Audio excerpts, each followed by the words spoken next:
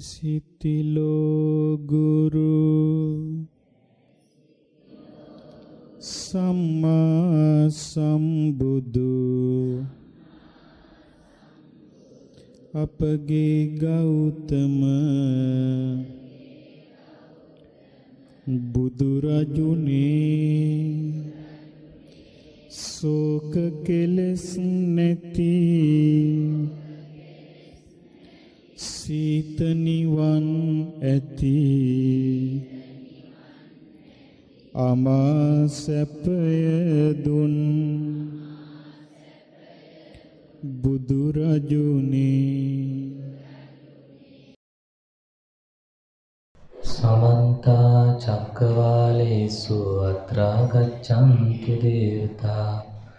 සද්දම්මං මුනි රාජස්ස සුනන්තු සග්ග මොක්ඛදං ධම්මස්සවන කාලෝ අයං බදන්තා ධම්මස්සවන කාලෝ අයං බදන්තා ධම්මස්සවන කාලෝ අයං බදන්තා නමෝ තස්ස භගවතු අරහතෝ සම්මා සම්බුද්දස්ස නමෝ තස්ස භගවතු අරහතෝ සම්මා සම්බුද්දස්ස.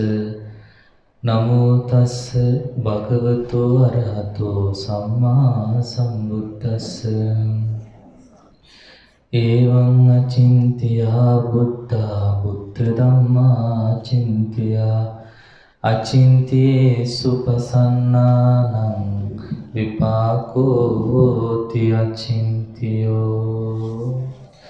නැන සයුර තරණ කළ සසර සයුරෙන් එතරව උදාරම පුද්ගලෝ බුදුරතුන් සිරසින් වැඳ ගැඹුරු නුවණින් දත් සතර හොතින් පුදලද සසර දුක් සිඳිනා සිරි සදහම් රුවන වැඳ සව් කෙලෙසුන් සිඳලු අරියතග ගුණයෙන් යුත් දැමුණු ඉඳුරන් නැති මහා සංඝ ගණද වදිනෙම් පින්වත්නි භාග්‍යවත් අරිහත් අසම සම විපදෝත්තම බුදුරජාණන් වහන්සේ විසින් වදාළ ශ්‍රී සද්ධර්මයේ සඳහන් වේ. සූත්‍ර විනය අභිධර්ම තුන් පිටකයෙන් සූත්‍ර පිටකේ නිකාය පහෙන් කුද්දක නිකායේ සඳහන් වන අපදාන පාළිය කියන මේ කොටසට අයත් වන්නා වූ දේශනාව තමයි අපි මේ වර්ෂයේ පළවෙනිම පොය දවස ගිය පොය දවසේදී ආරම්භ කළා. ආරම්භයේදී මතක් කළා අපිට ඉතා විස්තර ඇතුව විවරණ ඇතුව මේ දේශනාව කරලා තියෙනවා. අපදාන අට කතාව කියන අර්ථ කතාව තුළ. ඒ අර්ථ කතාවේ නමත් අපි ඔබට ගියවර කියා දුන්නා. විසුද්ධ ජන විලාසනී තමයි මේ අට කතාවේ නම. පෞරාණික ආචාර්යන් වහන්සේ නම විසින් සම්පාදනය කළයි කියලා තමයි සඳහන් වෙලා තියෙන්නේ. අද නවම් පුන් පෝ දවස අද දවසේ වටිනාකම් ගැන ඔබට උදේයත් මතක් කළා. එයින් විශේෂයෙන්ම ප්‍රථම සංඝ සම්නිපාතයේ සිදු වුණෙත් අද වැනි දවසක. ඒ වගේම සාරිපුත්ත මහ මොගලන් මහරහතන් වහන්සේලා දෙනමට අග්‍ර ශ්‍රාවක තනතුරු ලැබුණෙත් අද වැනි දවසක. එසේම බුදුරජාණන් වහන්සේ ආයු සංස්කාරය අත්හැරියෙත් අද වැනි දවසක. තෙවැනි දවසක උදෑසනින්ම නැගිටලා මේ පින්වත් හැමදෙනා ඊටාම දුර බැහැර ගෙවාගෙන මේ ස්ථාන වෙත සැපත් වුණා. ඉතින් අද මම ඒක බලාගෙන හිටියේ කොහොමද මෙයාලා සැපත් වෙන්නේ කියලා. ඉතින් බස් රථ දෙකක් ආවා. දැන් පළවෙනි බස් රථයෙන් ආව මම දැන් බදගිරියනේ. බදගිරිය ප්‍රදේශය. එයාලා ඇවිල්ලා මේ ශාලාව සම්පූර්ණයෙන් අල්ලගත්තා. ඒ මුලින් පැමිණීමේ ආනිසංසය. එතකොට මං කල්පනා කළේ මේ බස් එක නැති වුණොත් ඔබට මොකද වෙන්නේ? සිල් ගන්න එන්න වෙන්නේ නෑ. දෙවැනි බස් රථ ඊට පස්සේ ආව විනාඩි 30කට පස්සේ අම්බලන්තොට ප්‍රදේශේ. එයාලට එළියට යන්න සිද්ධ වුණා. මොකද පසු වෙලා පසු ආපු නිසා. එතකොට මේ දෙකෙන් තමයි ඔබ ගේන්නේ. එතකොට පින් දෙන්න වටිනව කාටද? බස් රථ රියදුරන්ටනේ. ඒක එහෙම නොවුනොත් එයාලා ඔබ එක්ක ගෙනාවේ නැත්තම් අද අපිට බණ කියන්න කෙනෙක් නැති වෙනවා. මං හිතන 180කට වඩා ඉන්නේ මේ දෙකෙන් තමයි. ඉතුරු අය තමයි පුද්ගලිකව පොඩි පොඩි රතවල නැගිලා එන්නේ. ඉතින් ඒ ගමන ගැන හිතුවම හරි සරල ගමනක් අපිට තියෙන්නේ. අහිංසක ගමනක් තියෙන්නේ. අපි මේ කැලෑවකට වෙලා ගුණ පුරන්න උත්සාහ කරන වෙලාවේ ඔබත් ඒ අහිංසක ව්‍යායාමයට පැහැදිලා අපිත් නිදහසේ ගුණ පුරන්න ඕනේ කියලා තමයි ඔය ගම්දනව පසු කරගෙන බස් රථවල නැගිලා මේ ගමන එන්නේ. ඉතින් මේ මොහොතක් පාසා බොහෝ කුසල් රැස් වෙනවා. මොකද කුසල් සිතින් තමයි එන්නේ. ඔබේ වචනයෙන් කිව්වොත් අපිට සිල් ගන්න තැන් නැතුව නෙවෙයි මේ එන්නේ. සිල් ගන්න තැන් තියෙනවා. අද දවසේ හැම පන්සලකම පොය දවසට ලංකාවේ හැම ගමකම සිල් සමාදන් වෙනවා. ඒක රහසක් නෙමෙයි එහෙම තියෙද්දි සමහර විට පන්සලේ ලොකු හාමුදුරුවෝ තරහා කරගෙන ඇයි අපි එන්නේ? අපට සැනසෙන්න යමක් ලබා ගන්න අපි මේ ගමන එන්නේ නම් සැනසීලා ඉන්න ඕනේ. විශේෂයෙන් සිල්වතුන් වහන්සේලා වෙත එන්න ඕනේ අපි සැනසෙන්නට. බුදුරජාණන් වහන්සේ මේ ධර්මයේ දියුණු කරන්න අවශ්‍ය කාරණා හතරේ පළවෙනිම කාරණේ කල්යාණ මිත්‍ර ඇසුර. ඊළඟට ආනන්ද ස්වාමීන් වහන්සේ කතාවක මතක් කරන ස්වාමීනි මට හිතෙනවා මේ බුද්ධ ශාසනය අඩක්ම පවතින්නේ කල්යාණ මිත්‍රයා මතයි කියලා. ඒ වෙලාවේ බුදුරජාණන් වහන්සේ ඒ බව ප්‍රතික්ෂේප කරනවා. එහෙම අනුමත කළේ නෑ. මා හේවං ආනන්ද අවච ආනන්ද එහෙම කියන්න එපා. අඩක් නෙවෙයි මුළු බුදු සසුනම පවතින්නේ කල්යාණ මිත්‍රයා මතයි. න සිල්වත් ගුණවත් කල්යාණ මිත්‍රයන් මුණ නොගැසෙන්නට අපිට නිවන් මඟ දියුණු කරන්න ලැබෙන්නේ නැහැ. දැන් බලන්න කල්යාණ මිත්‍රයාගේ වෙනස දකින්න අපිට කවුරුද හමු වෙන්න ඕන? අකල්යාණ මිත්‍රයා. ඒ කියන්නේ අසත් පුරුෂයා. අසත් ස්ත්‍රිය. නේ පුරුෂයා විතරක් නෙවෙයි. ස්ත්‍රීනුත් ඉන්නවනේ. පුරුෂයා කොහොමද විතරනේ පිරිමි විතරක් දන්නේ නැහැ අසත් පුරුෂ කියලා. පුරුෂ කියලානේ කියන්නේ. නෑ. ඒ වචනයෙන් කියනවා ස්ත්‍රී පුරුෂ දෙකොල්ලම. කල්යාණ මිත්‍රයාගේ වටිනකම දැනගන්න අපිට අසත්පුරුෂයව හමු වෙලා රැවටිලා ප්‍රශ්න වෙලා තියෙන්න ඕන. වැස්සේ වටිනකම තේරෙන්න නම් නියඟ එන්න ඕන. දිගටම වැස්සත් වැස්ස එපා වෙනවනේ සමහර අයට. අනේ වහින වැඩි කියලා හිතෙන්න පුළුවන්. නමුත් අවුරුද්දක් විතර පෑවුවම අන්න හූල්ලනවා අනේ වහින්නේ නෑ. වැස්ස කොච්චර වටිනවද කියලා. අන්න කල්යාණ මිත්‍රයෝ නැතුව හිටපු කෙනාට තමයි වටිනකම වැඩි. ඇයි අපි මෙච්චර කල් අපිට පිහිටක් නෑ ස්වාමීනි. අපිට මේ යන්තර තමයි දැම්මේ, මන්තර තමයි කෙරෙව්වේ. නැකත් තමයි බැලුවේ මෙච්චර කල් අපි. අපේ අපි කිව්වොත් අපේ හාමුදුරුව අපිට කිව්වේ ඒව තමයි කියා දුන්නේ නැකත් බලන්න කේන්දරේ බලන්න යන්තර දාගන්න සමහරට යන්තර බෙර වගේ දාගන්න වෙන සමහර විට. දැන් ඔබ දැකලා ඇති ඉන්දියාවේ මිනිස්සු බෙල්ලෙත් යන්තර, ඉනෙත් යන්තර, මේ අතේ උඩ හරියෙත් යන්තර. ඇයි? කල්යාණ මිත්‍ර ධර්මයක් මුණ ගැසුණු නැති නිසා. දැන් මෑතක අපේ ලොකු ස්වාමීන් වහන්සේගේ සම්බන්ධය නිසා තරුණ ස්වාමීන් වහන්සේලා දෙනමක් වැඩම කළා නේපාලයෙන්. කොයිද රට? නේපාලය. නේපාලය කියන්නේ බුදුරජාණන් වහන්සේ ඉපදිච්ච රට. ලුම්බිනියේ තියෙන නේපාලේ යට කොටසේ.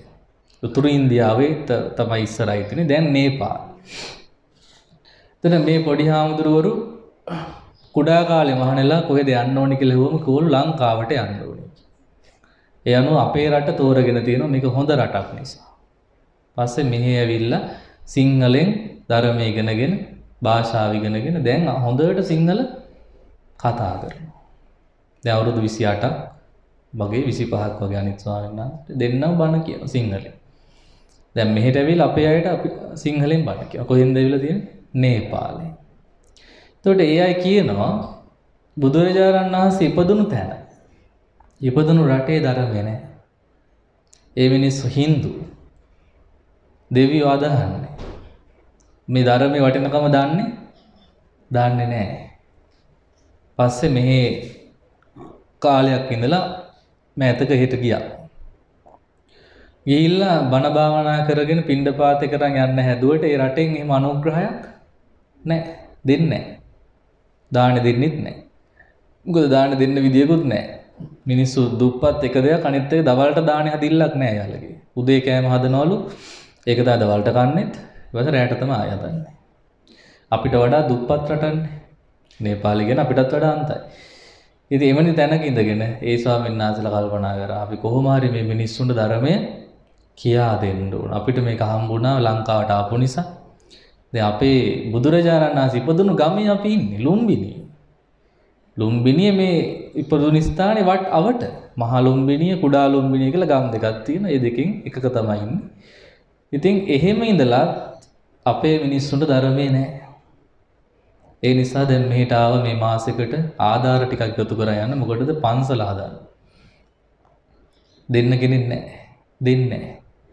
ඉතින් මේ මිනිස්සුන්ට දෙන්න සල්ලිත් නැහැ. ඒ රටේ. ඉතින් මේ මෙහෙට ඇවිත් තියෙන අපෙන් ආධාර උදව්වක් ඉල්ලගෙන ගිහින් උන්වහන්සේගම ඉඩමක කුඹුර ගොඩ කරලා තමයි මැටියෙන් කුටියක් හදාගෙන මේ දවස්වල බොහොම සුව මේ ප්‍රතිපත්තියට ගරුකව තමයි උන්වහන්සේ වැඩ ඉන්නේ. ඒ ස්වාමීන් වහන්සේලා. ඉතින් 10 දෙනෙක් මහාන කළා මෙහෙවන්න පස්සේ අර බෝම්බයක් ගහපු නිසා බය වෙලා ඒ මිනිස්සු ආයි ගෙවල් වලට ගෙන්න ගත්තලු ළමයි ටික.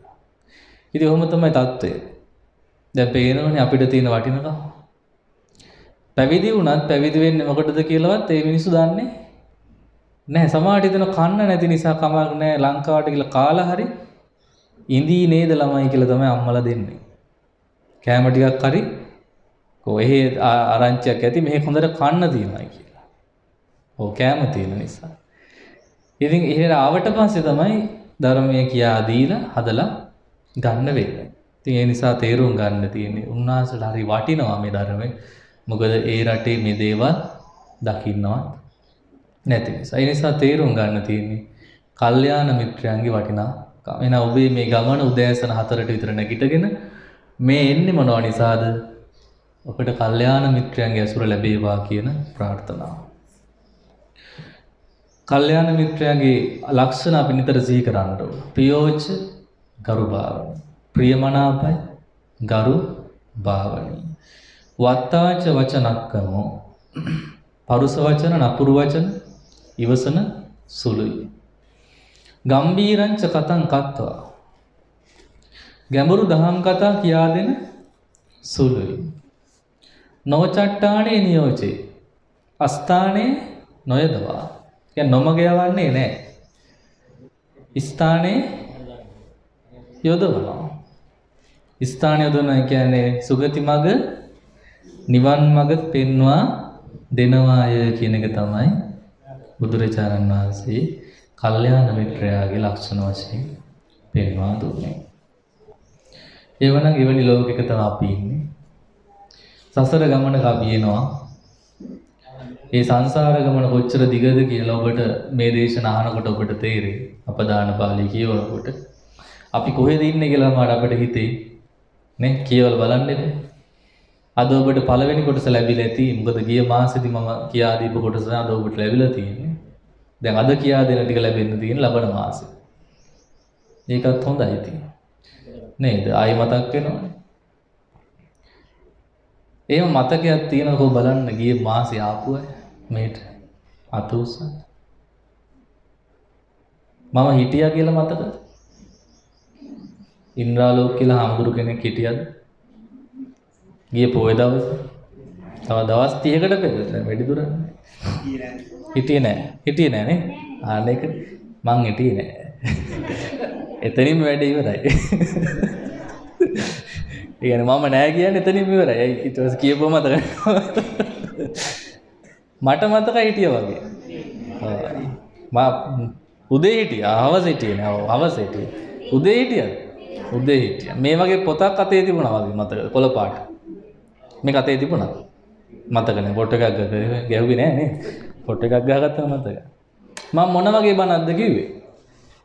උදේ උදේ 8ට 9ට චුට්ටක් මතක් කර හරි චුට්ටක් ඉතින් චුට්ටක් මතක් කර ඔක්කොම කියනවා ඔක්කොම කියනවා අද අපදාන පාලිය කියලා පොතක් ගැන අපි කතා කරා. ඉතින් ඔබට දැන් අද ලැබිලා තියෙන නිසා යමුතුන් අහන්න දෙයක් නැහැ. අට කතා නම තියෙනවා නේද? මොකද අට කතාවේ නම? අපදාන අට කතාව. දැන් මගේ අතේ තියෙන්නේ අට කතාව. ඉතින් මම හිතන් ඉන්නවා ජීවතුන් අතර හිටියොත් මේ පොත ටික ටික ඔබට දෙන්න. කියන්නේ ඔක්කොම නෙවෙයි අවශ්‍යම කොටස් වලින් තෝරලා ඔබට පැහැදෙන්න හේතු වෙන කොටස් ටික තේරෙන ටික සංස්කරණය කරලා දෙන්න.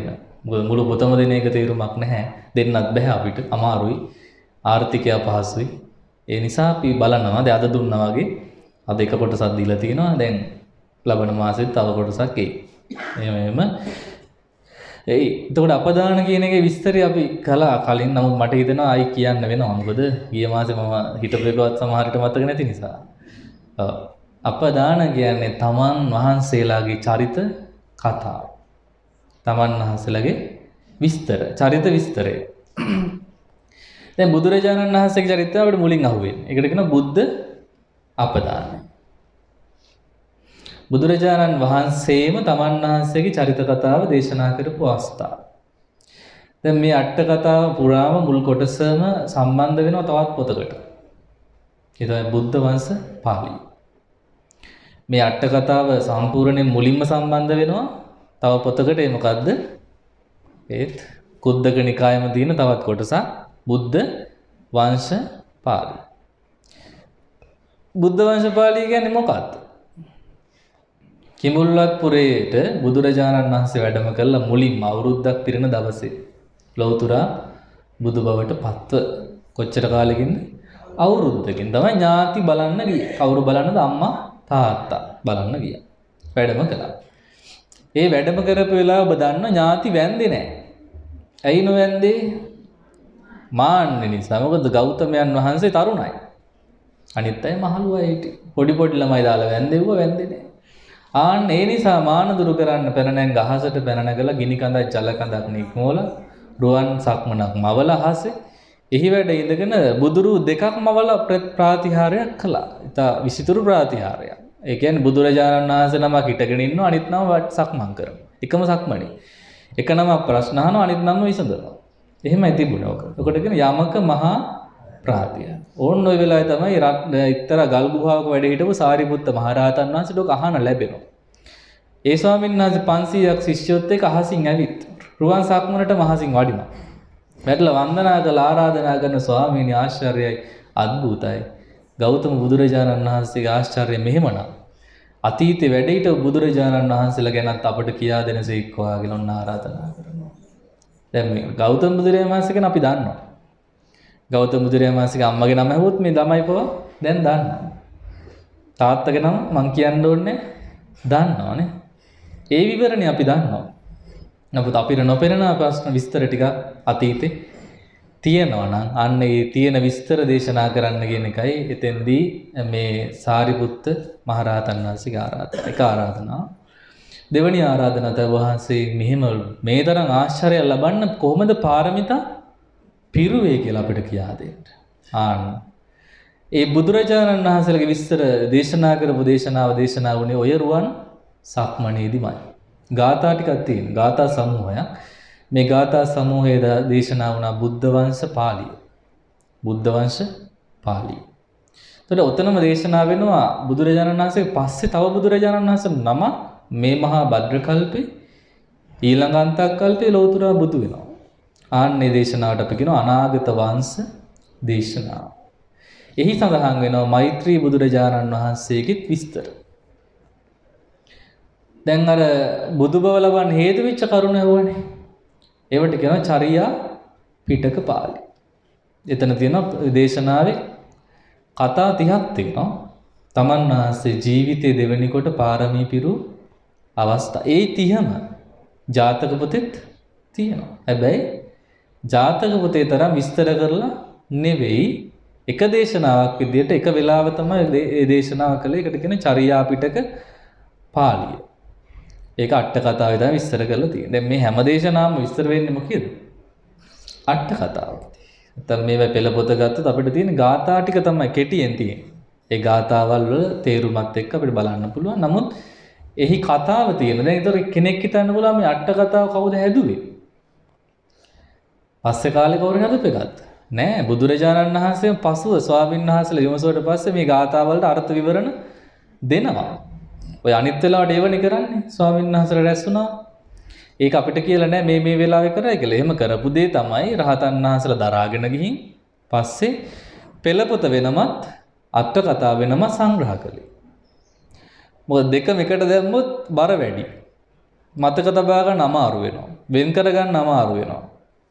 ඒ නිසා ගාථා ටික වෙනම තිව්වා අර්ථ ටික වෙනම තිව්වා. ගාථ ටිකට කියනවා පෙළපොත, දැන් ත්‍රිපිටක පොත කියනවා එකට. එහි අර්ථ විස්තර කරපු කතා විස්තර කරපුවා ඔක්කොම තියෙනවා අට කතාව. දැන් අට කතා බුද්ධ වංශ පාළියට වෙනම බුද්ධ වංශ අට කතාවක් තියෙනවා. චර්යා පිටකෙට චර්යා පිටක අට කතාවක් තියෙනවා. තේර ගාතාවට තේර ගාතා අට කතා. අපදාන පාළියට අපදාන අට කතා. දැන් මේවා ඕනම කෙනෙකුට තේරුම් ගන්න පුළුවන්. මේ මහා ගැඹුරු දේවල් නෙමෙයි. මේවා පුළුවන්. ඒක මම මේ කියන්නේ. ඔබට උනන්දුවක් තියෙනවා නම් පන්සලෙන් හරි ගමන්න ඉල්ලගෙන කියවන්න. කඩෙන් ගන්න සල්ලි නෑ ආර්ථිකය අමාරුයිනේ. ඒ නිසා සිංහල පරිවර්තන තියෙනවා. පුළුවන් වේද කරගන්න කවදා හරි හිතුනොත් ඔය පන්සල් වල නිකන් තියෙනවොත් කියවන්නේ ආමුදුරු කියවන්නේ නැහැ. ඔය කබඩ් වල එහෙම තියෙන දැක්ක ඔය පාට පාට පොත් ඇතිව තියෙන දැන් මගේ අතේ තියෙන කොළ පාටයි ඒ වගේ එක එක පාටින් තියෙන්නේ. පාට බලාගෙන යන්න ඊට පස්සේ පන්සලට දාන්න ගෙනිච්ච පොට්ටක් පොඩ්ඩක් බලන්න පාට පාට පොත් තියෙනවද කියලා. ඊට පස්සේ ආන හාමුදුරනේ පොත් නිකන්ද තියෙන කියලා අහලා ඔව් කිව්වොත් එකක් මම බලලා ගෙනත් දෙන්නද කියලා ඇහුවොත් නොදී ඉන්න එකක් නොදී ඉන්න එකක් නැහැ. පුළුවන් දිල්ල ගන්න පන්සලේ. දැන් මෙහි තියෙන එක දෙන්න බෑ මොකද අපි කියව ගන්න එපා. ඔව්. පුළුවන් අය අත උස්සන්න බලන්න පන්සලට යන අය. යන්න ඕන අනිවාර්යෙන් පන්සල් යන්න ඕන. ගමේ ඉන්නවනම් ගමේ පන්සලට. මොකද අපි ඇවිල්ලා වැඩ කරලා දෙන්නේ නේද? පන්සල් යන්නේ නැති අය අත උස්සන්න. එහෙම නෑ නේ යනවනේ. ඒ යනකොට දැන් ගෙදර ප්‍රශ්නයක් වෙනවා. වලියක් දා ගන්නවා. මොකෝ වෙහෙරගල එනවයි. එන්න පුළුවන් නම් හොඳයි. අඩුමතරේ බෝධින් වහන්සේ ළඟටවත් ගිහිල්ලා ඔබට හිත හදාගන්න පන්සල තියෙන්න ඕනේ. එකයි ගමකට එක පන්සලක් අපේ රටේ තියෙනවා. ඒ නිසා හාමුදුරුවෝ ළඟට ගියොත් සැනසීමක් නොලැබේ නම් කොහෙටද යන්න ඕන? බෝධින් වහන්සේ වෙත යන්න. විහාර මන්දිරයේ වෙත යන්න පුළුවන්.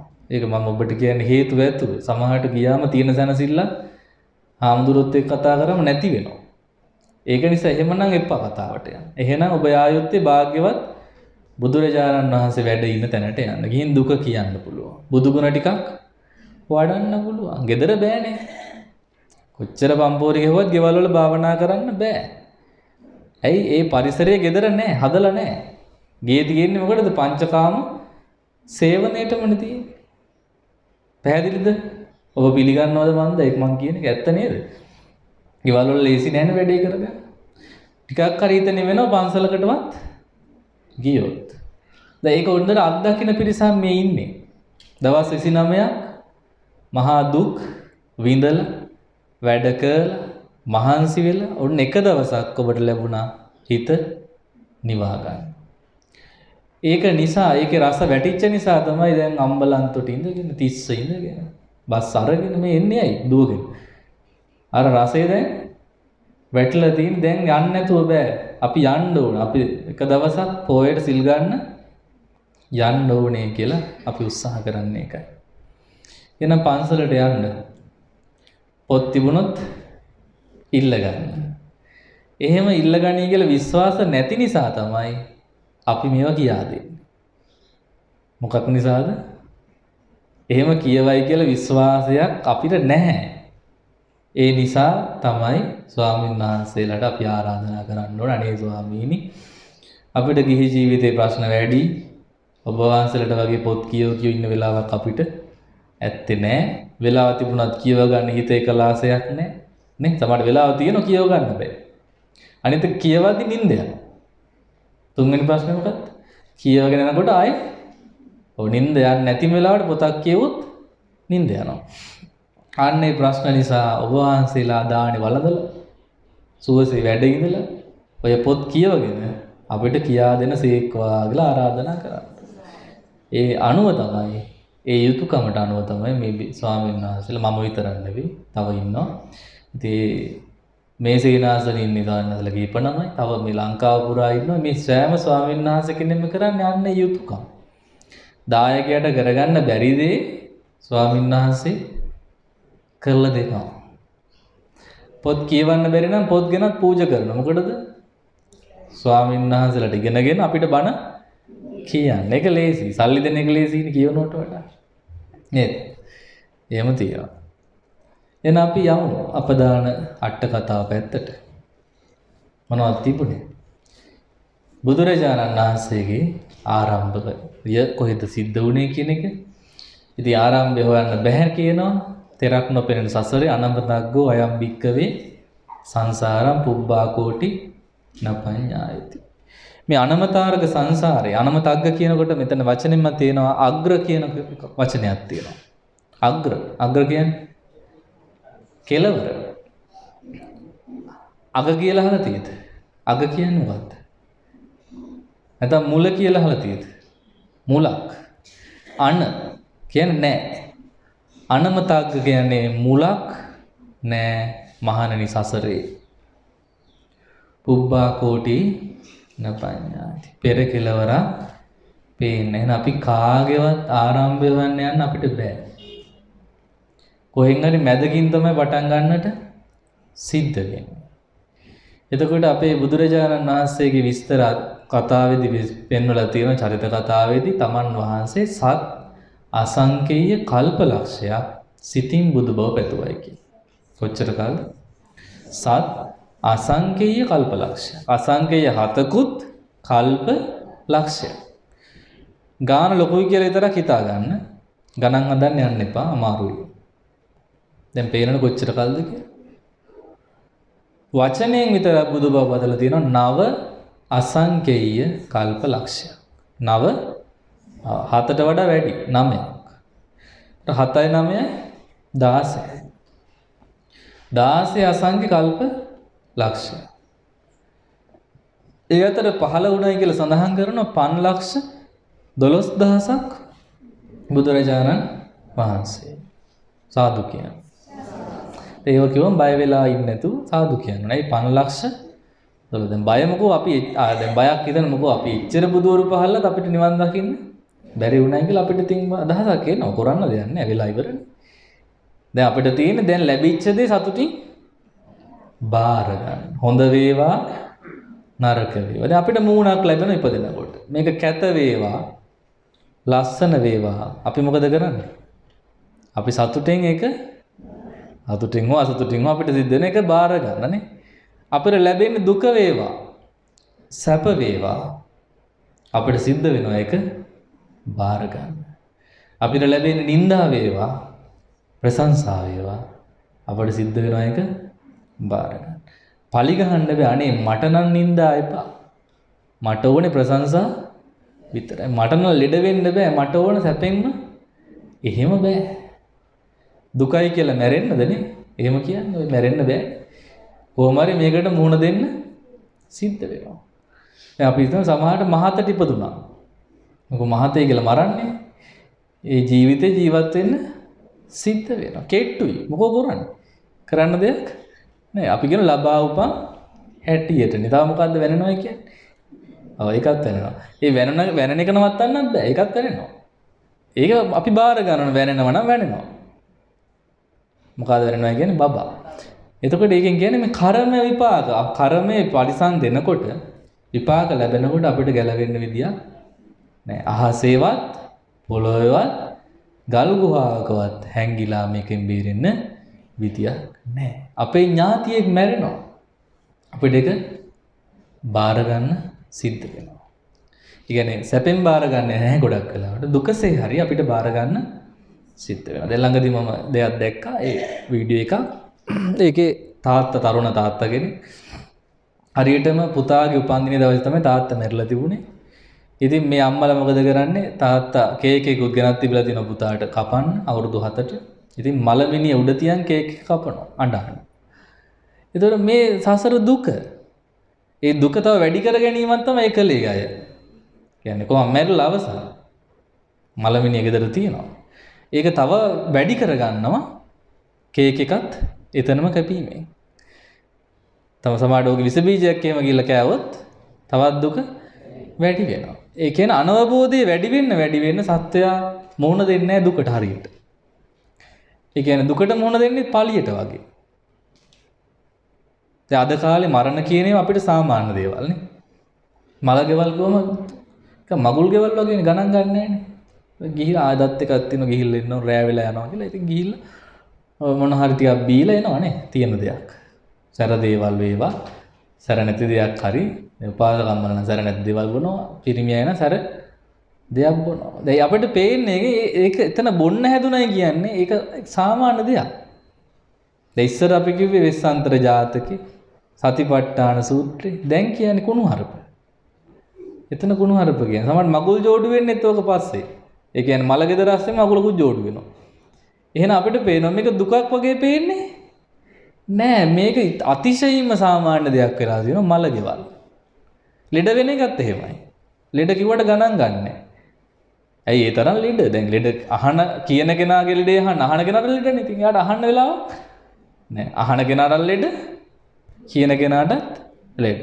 කායික ලෙඩ නැත්තම් මානසික ලෙඩ. දැන් අපි හැමෝටම ඒවා තියෙනවා. මානසික රෝග. පිළිගන්නවද නැද්ද? පිළිගන්නවා වෙනවා. මොකද රාග, ද්වේෂ, මෝහ කියන්නේ එකාතකින් ගතව ලෙඩක්. මේ රාගය ලෙඩක්. ද්වේෂය ලෙඩක්, මෝහය ලෙඩක්. දැන් මෙහෙම මෙහෙම බැලුවට පස්සේ දුක වැඩි. දුක වැඩි නිසා අපිට තේරෙන්නේ අපි මේක කොහොමද පාලනය කරන්නේ කොහොමද බාරගන්නේ කියලා. එහෙනම් වියරුවෙන් තමයි ගොඩක් අය දුක බාරගන්නේ. අපිට සිද්ධ වෙනවා සංසුන් මනසින් අපිට ලැබිච්ච ලැබෙන සෑම දේම බාරගෙන නිවන් මඟ යන්න අපිට උත්සාහ කරන්න.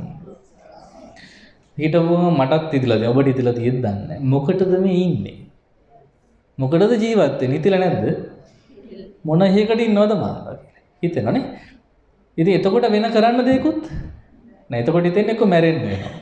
මැරුණොත් ඒ ආයිත් ඉපදෙනවා. ඒක වැඩකුත් නෑ. එහෙනම් අපිට වෙලා තියෙන අපි අර්ථවත් දෙයක යෙදිලා නෑ.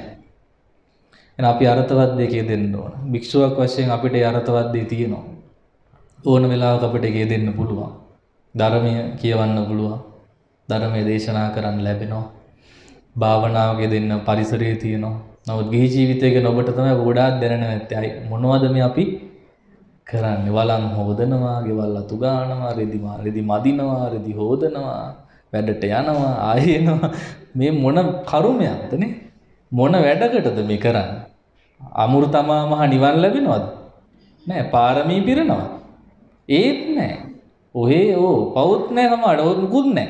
දෙකම නෑ. ඔහේ ඉන්නවා. පව් තමයි වැඩි සිද්ධ වෙන්නේ. මොකද ඔයා යනකොට ඉතින් කුසාසිත යන්නේ නැහැ සියලු සත්‍යෝ සූපත් වේවා වගේ කී වැඩට යන්නේ නැහැ ප්‍රධානියට බැන බැන තමයි වැඩ කරන්නේ.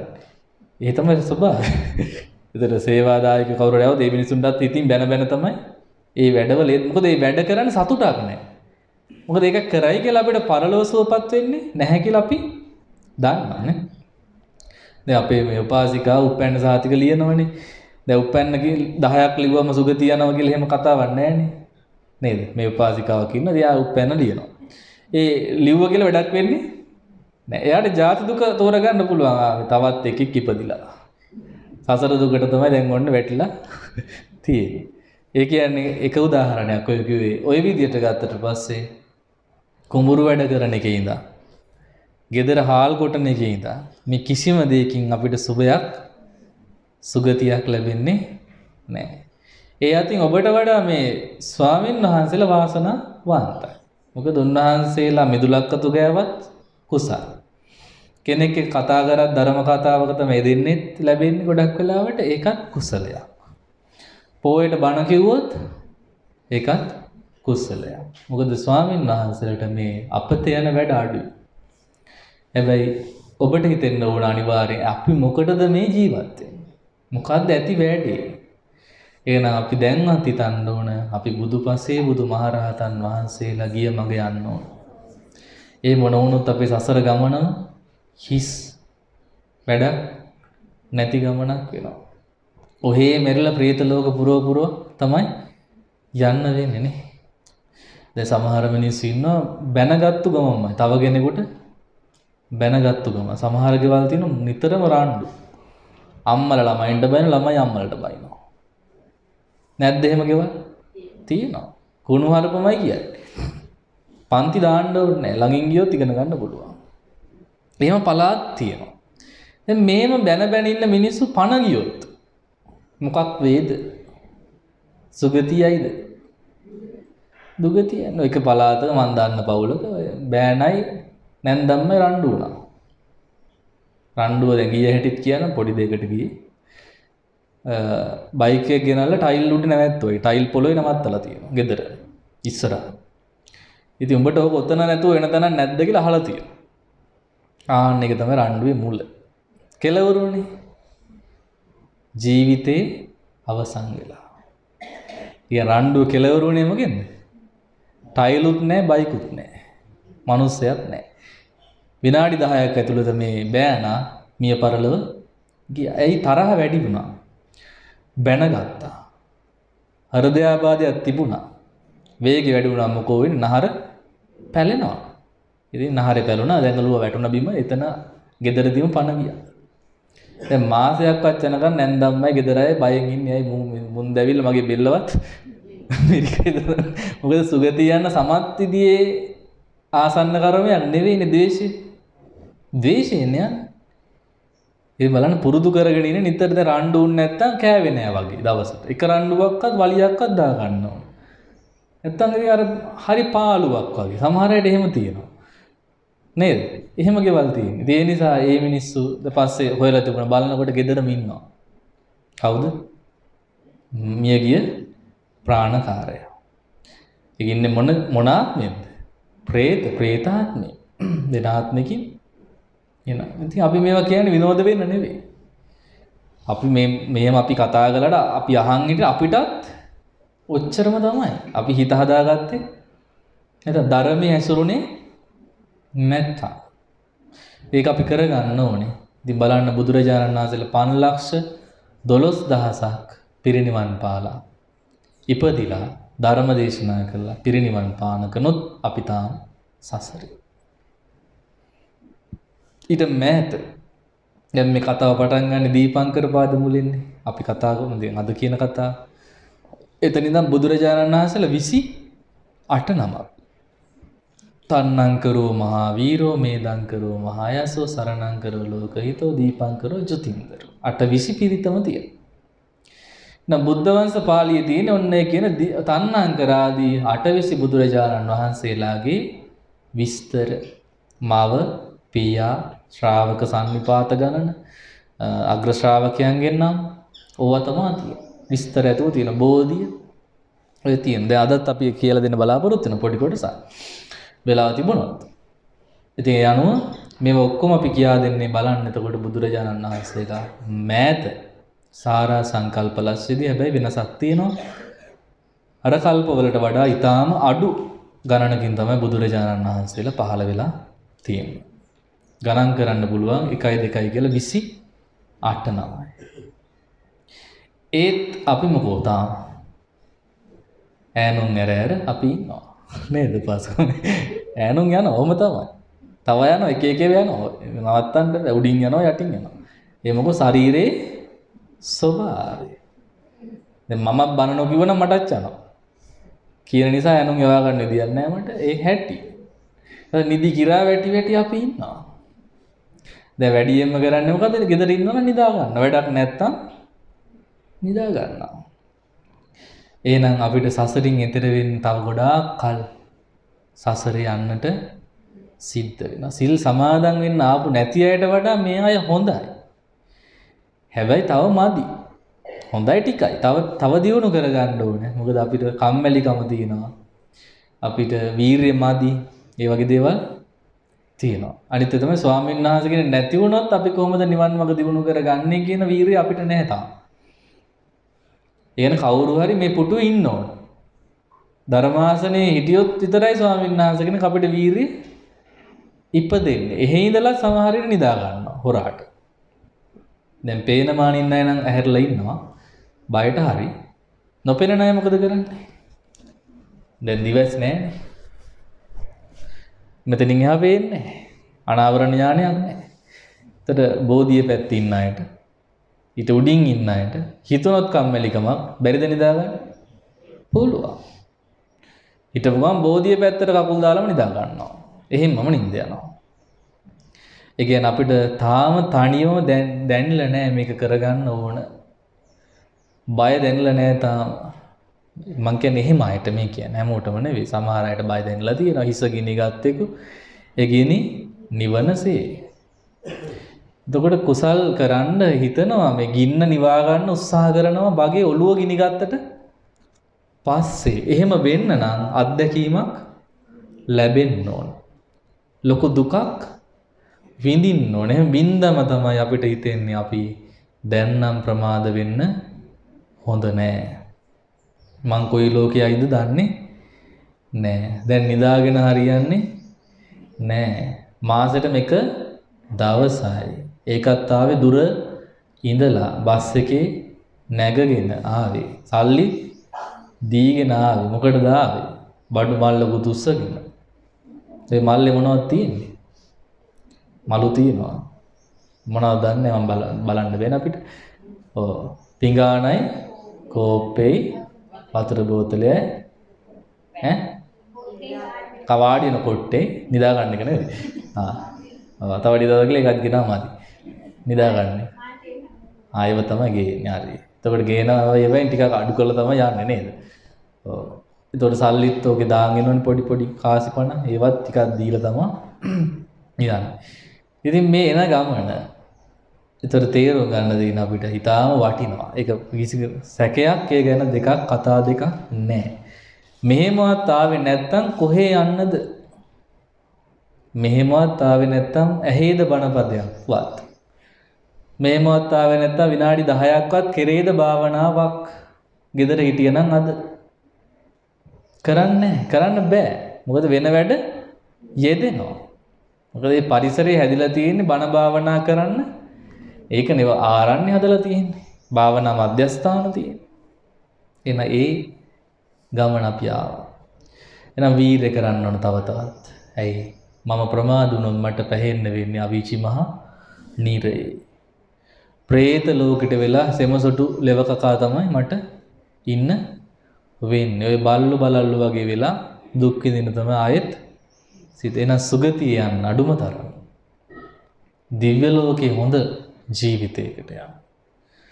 පරසතු උයනේ මල් නිරන්න. දිව්‍ය සභාවට ගිහින් දිව්‍ය නැටුමක් නටන්න හෝ බලන්නවත් ලැබෙන්න නම් අපි කුසල් ඒක ගණන් ගන්නෑ. එහෙමවත් ලැබෙන්නේ පින් කලේ නැත්තම් නැටුමක්වත් බලන්න වෙන්නේ පෙරේතයෝගේ නැටුම් තමයි බලන්න වෙන්නේ ඊට පස්සේ. ඔව් දිව්‍ය නැටුම් බලන්න වෙන්නේ. දැන් ගණන් ගන්න අපි නම් යන්නේ නැවුවයි. අපිට මොකටද දිව්‍ය ලෝක? එහෙම හිතන්නේ. නමුත් මැරෙනකොට තමයි තේරෙන්නේ ඒකේ වටිනකම.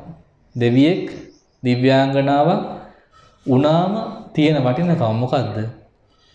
මිනිස්සෙකුට වඩා දෙවියට තේරෙනවා සසර ගමනේ ස්වභාවය. ඇයි දිවස් නුවණින් බලන්නට පුළුවන්. ආත්ම 14ක් අවම වශයෙන් කියනවා දෙවියට අතීතේ බලන්න පුළුවන්. ඒකට තේරෙනවා අපාය හිටපුව පේනවා. දුක් විඳපුව පේනවා. දැන් ඒ ඔක්කොම කර ගන්න තමයි අපිට මේ බුද්ධ ශාසනය ලැබිලා තියෙන්නේ. අද මේ ධර්මය ලැබිලා තියෙන්නේ. ඒ ලැබිච්ච වෙලාව.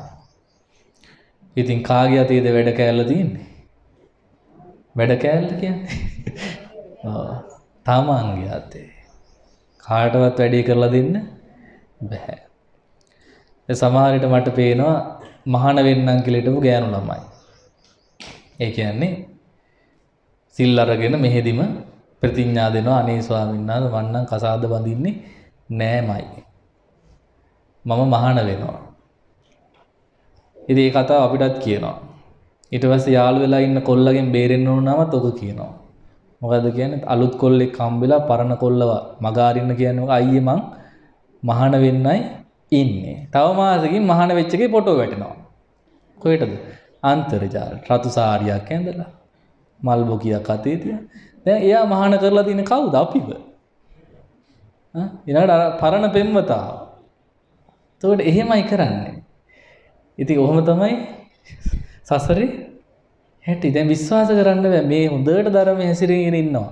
බණ අහගෙන ඉන්නවා. මහාන වෙන්න වගේ ඉන්නවා. දැන් දැන් සෝවාන් වෙන්න වගේ ඉන්නවා. හැබැයි ඊට පස්සේ ස්වාමීන් වහන්සේ නම පාරේ දැක්කත් අඳුරන් නැති තත්ත්වයට එවැනි අයම පත් වෙනවා. ඇයි දැක්කොත් ලැජ්ජයි මුහුණ දෙන්න. ඇයි තමන්ගේ ස්වභාවය රෑ ඩැනියල් දවල් මිගෙල්. ඒක අහු වෙන නිසා. එනිසා මෙහෙදී හොඳට අපිට මුහුණ දෙනවා. හැබැයි ගිහි ජීවිතේට ගිය වෙලාවට නැත්තම් සමාජයට බහැපු වෙලාවට ස්වාමීන් වහන්සේ දැක්කොත් කතා කරන්න බැරි විදිහට තමයි මේ අය දකින්නට අපිට ලැබෙන්නේ. එහෙනම් මෙහෙම තමයි ස්වභාවය. සෙල්ලම් නැහැ. ලේසි නැහැ. එක දිගට නිවන් මඟ අවංකව යන හරි අඩුයි. අවංකවම නිවන් මඟ දියුණු කරගන්න අවස්ථාව ලැබෙන්නේ නැහැ හැමෝටම. ඉතින් ඒ නිසා අපි හදන්න ඕන කාටවත් පේන නෙවෙයි දැන් මට පේන්නවත් අනිත් ස්වාමීන් වහන්සේලාට පේනවත් නෙවෙයි ඔබ නිවන් මාර්ග යන්න ඕන.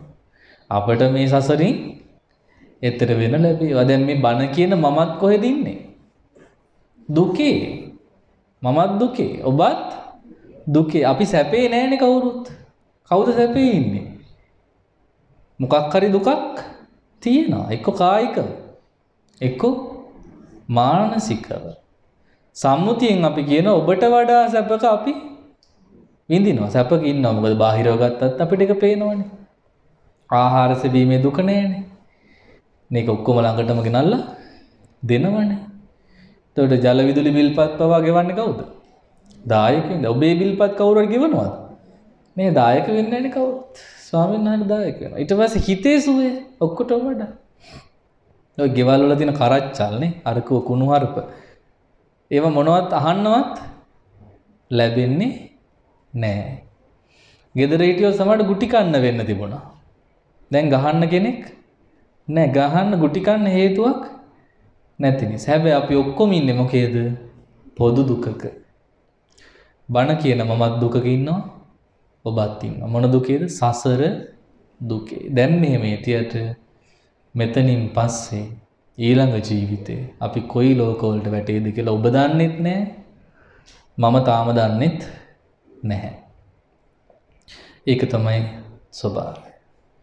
එනිසා අපි මේ ධර්මය කතා කරමින් සිල් රකිමින් අපිත් උත්සාහ කරන්නේ සුගතියට යන්න ඉස්සෙල්ලා. ඔබත් උත්සාහ කරන්න අපිට සුගතියට යන්න ලැබේවා කියලා. එතකොට අහන ඇයි නිවන් දකින්න එපාද? ඕන ඕන. හැබැයි තාම ඒක ඒකට සුදුසු තත්ත්වයක නෑ තාම යන් වාහනේ සුදුසු නෑ ගමනට. තාම අබලා. මේක හදන්න ඕන ගමන යන්න. කොච්චර ගැඹුරු ධර්ම කතා කරත් මේ ජනතාවට ඒක අවබෝධ වෙනවා අඩුයි. හැබැයි වැඩිපුර කැමති මොනවා වහන්නද? ගැඹුරු ඒවා වහන්න අපිට ඕවා වැඩක් නැහැ. අපට නාම රූප ගැන කියා දෙන්න. සසරින් එතර වෙන හැටි කියා දෙන්න කියලා කියනවා. හොඳයි ඉතින් කියලා දෙන එක හොඳයි. හොඳ නැත්තේ නෑ. හැබැයි තේරෙනවද කියන එක තමයි ප්‍රශ්නේ. තේරුණා වගේ ඔළුව වනවනක් ඉන්නවා. ඊට ඇහුවොත් තේරුණාද කියලා මොකක් හරි ප්‍රශ්නයක්? තේරිලා නෑ. අඩුම තරමේ අපදාන පාළිය නමවත් මතක නෑ. ගිය පොයට කිව්වේ. එහෙනම් අපි සතුටු වෙන්න බෑ අපිටනේ. අපේ දැනුම ගැන අපේ මතක ශක්තිය ගැන අපි තව දියුණු කරගන්න ඕනේ. නබ මන්දෝත්සාහී වෙන්න එපා. හීන වීරිය ඇති කරගන්න එපා. අපි මේ ටිකෙන් ටික මේ ගමන යමු.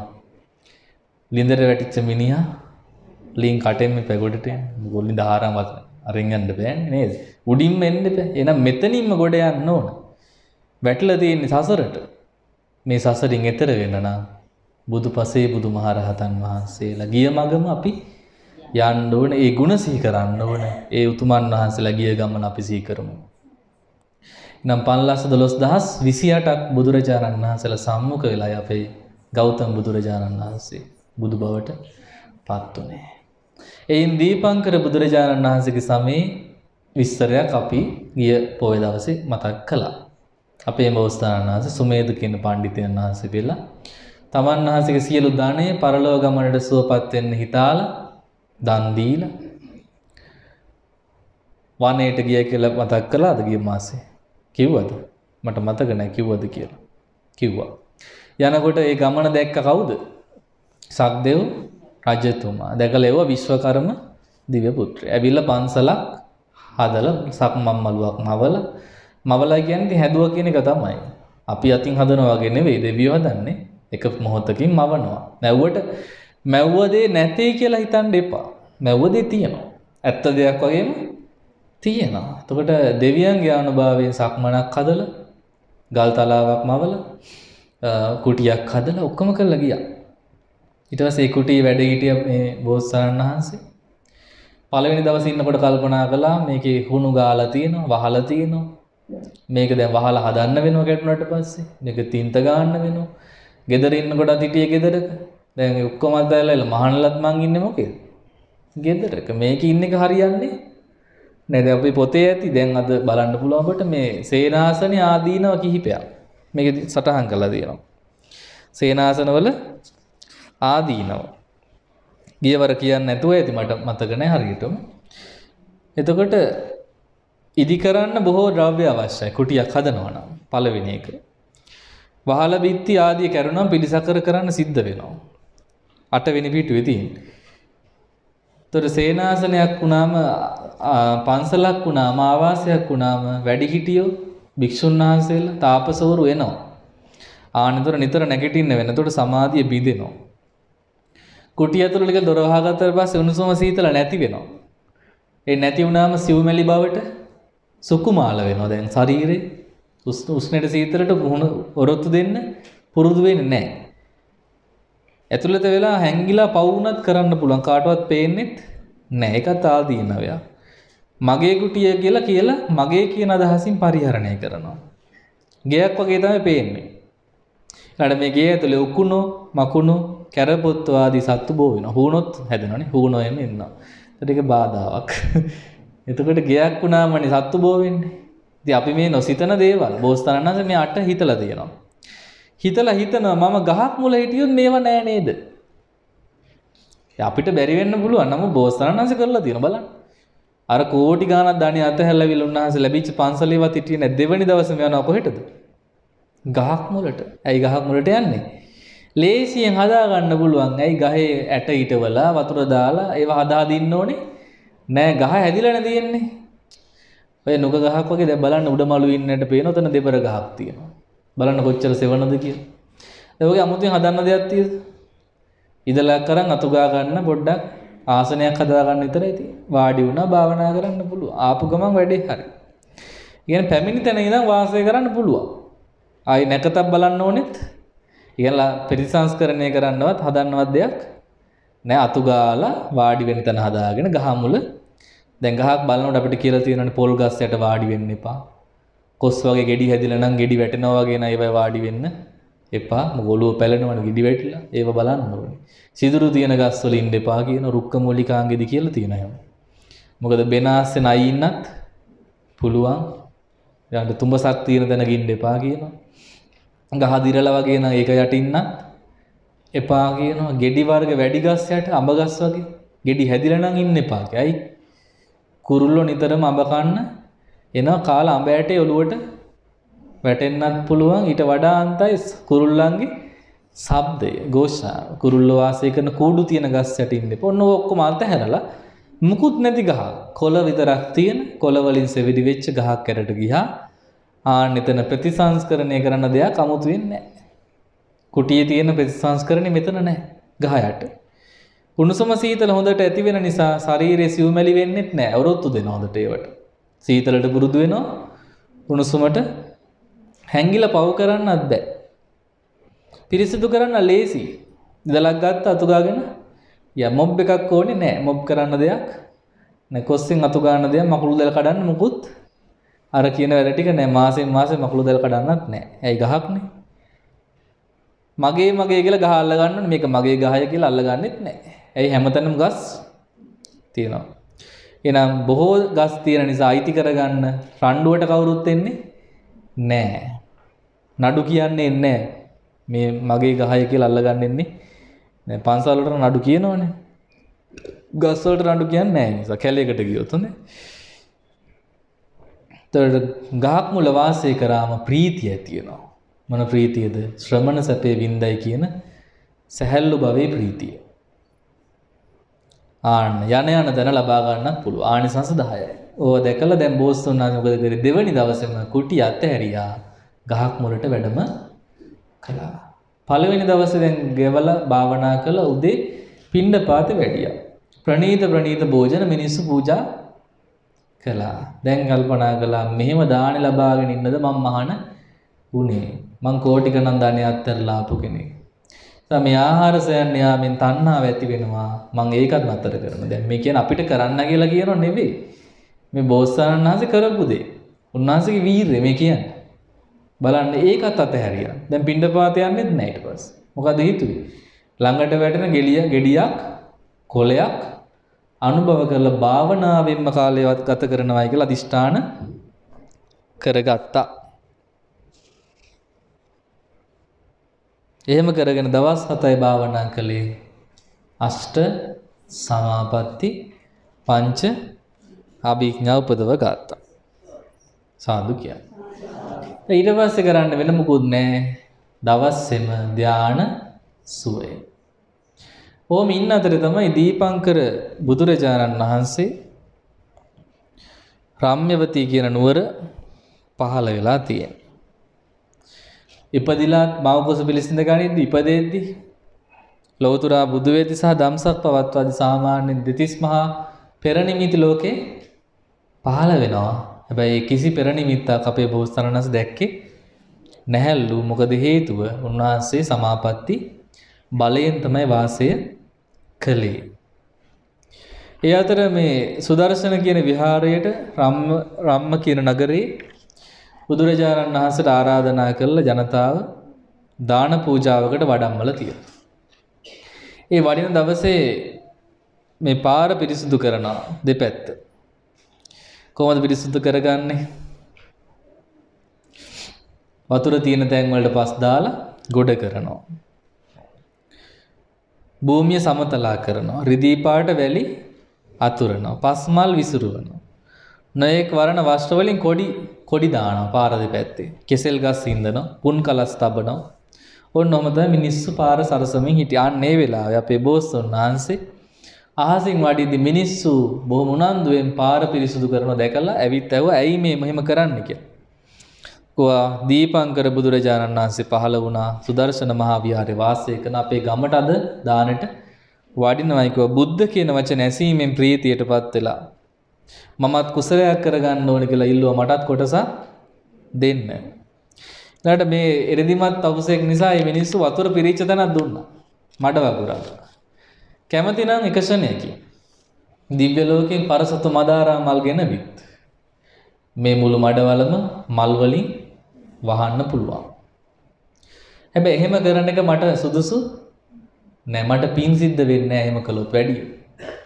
මට ගොඩක් සිද්ධ වෙන්නේ පින් කොහොම කළොත්? කය වෙහෙස කරලා වෙලාව අරගෙන නේද? දැන් අපි පින්කමක් කරද්දී ඕනවට එපාවට කළොත් පින අඩුයි. පිනට බැසගෙන අපි කියන්නේ බැහැල කරනවා කියලා. වැඩේ බැහැලම කරොත් තමයි පින වැඩි. බැහැල කියන්නේ වලකට බැහැලා නෙවෙයි. ඒ වැඩේට හිත යොමු කරගෙන කරන්න. උනන්දුයි. උන්නත් 1000යි මලත් 1000යි වගේ බෑ. දෙනව නම් දෙන කෙනෙක් දීගත් ඉතින් මම ඔහේ ඉන්න පාඩුවේ එහෙම ඉන්න දැන් දාන වලට ගියාම එහෙම ඉන්න පුළුවන් අපිට දැන් පිරිසත් එක්ක ගියාම දෙන දෙයක් කාලා නිදි කිරා වැටි වැටි ඔහේ ඉන්නවා. දැන් එයාට තමයි දාන දීලා තියෙන්නේ. එයා දාන දීලා නැහැ කාටවත්. මොකද අර වියනේව එයා කනවනේ. අනුග්‍රහ කළා නෑ පින් සිද්ධ වෙන්නේ දැන් ගිහිල්ලා වැටලා හිටියා කියලා පින් සිද්ධ වෙන්නේ නෑ පොල් ගෑවන නේද ඒවලු කැපුවන දර පැලුවන අන්න එහෙම මහන්සි වුණා නම් තමයි Tamanට පිනක් දැන් කම්මැලි කෙනා හිතන ඔක්කොම ඔච්චර දර පළල මහන්සි වෙන්න ඕනේ ඔක්කොම ටික ඉවරනම් මම සාදු කියලා අනුමෝදන් වෙනවා. එතකොට ලේසියිනේ වැඩේ. එතකොට ඔක්කොම ටික මට අයිති. ඔක්කොම අයිති වෙන්නේ නැහැ. සාදු කියලා හිතපු එක විතරයි අනුමෝදන් වුණා වෙලාවෙ පින විතරයි ලැබෙන්නේ. ඇයි අර මුකුත් දැන් තමන් දැක්කෙත් නැහැ. ඒවට අත හිතේ දෙව්වෙත් ඒ දෙව්වෙත් නැහැ. හරියට අනුරුද්ධ කුමාරයා බත් දැක්කා වගේ. බත් එන තැන හෙවුවා වගේ. කොහෙද බත් ආ? මේසෙ උඩ තියෙන රන් තලියෙන් එන්නේ බත්. ආයි බත් හැදෙන තැනක්වත් දන්නේ නැහැ. කුඹුරු තියෙන බවවත්, කුඹුරු කරන බවවත්, කුඹුරු වල මේ ගොයන් කපන හැටිවත්, ඒව කොටන හැටිවත් ලිපේ තියෙන එකවත් දන්නේ නැහැ.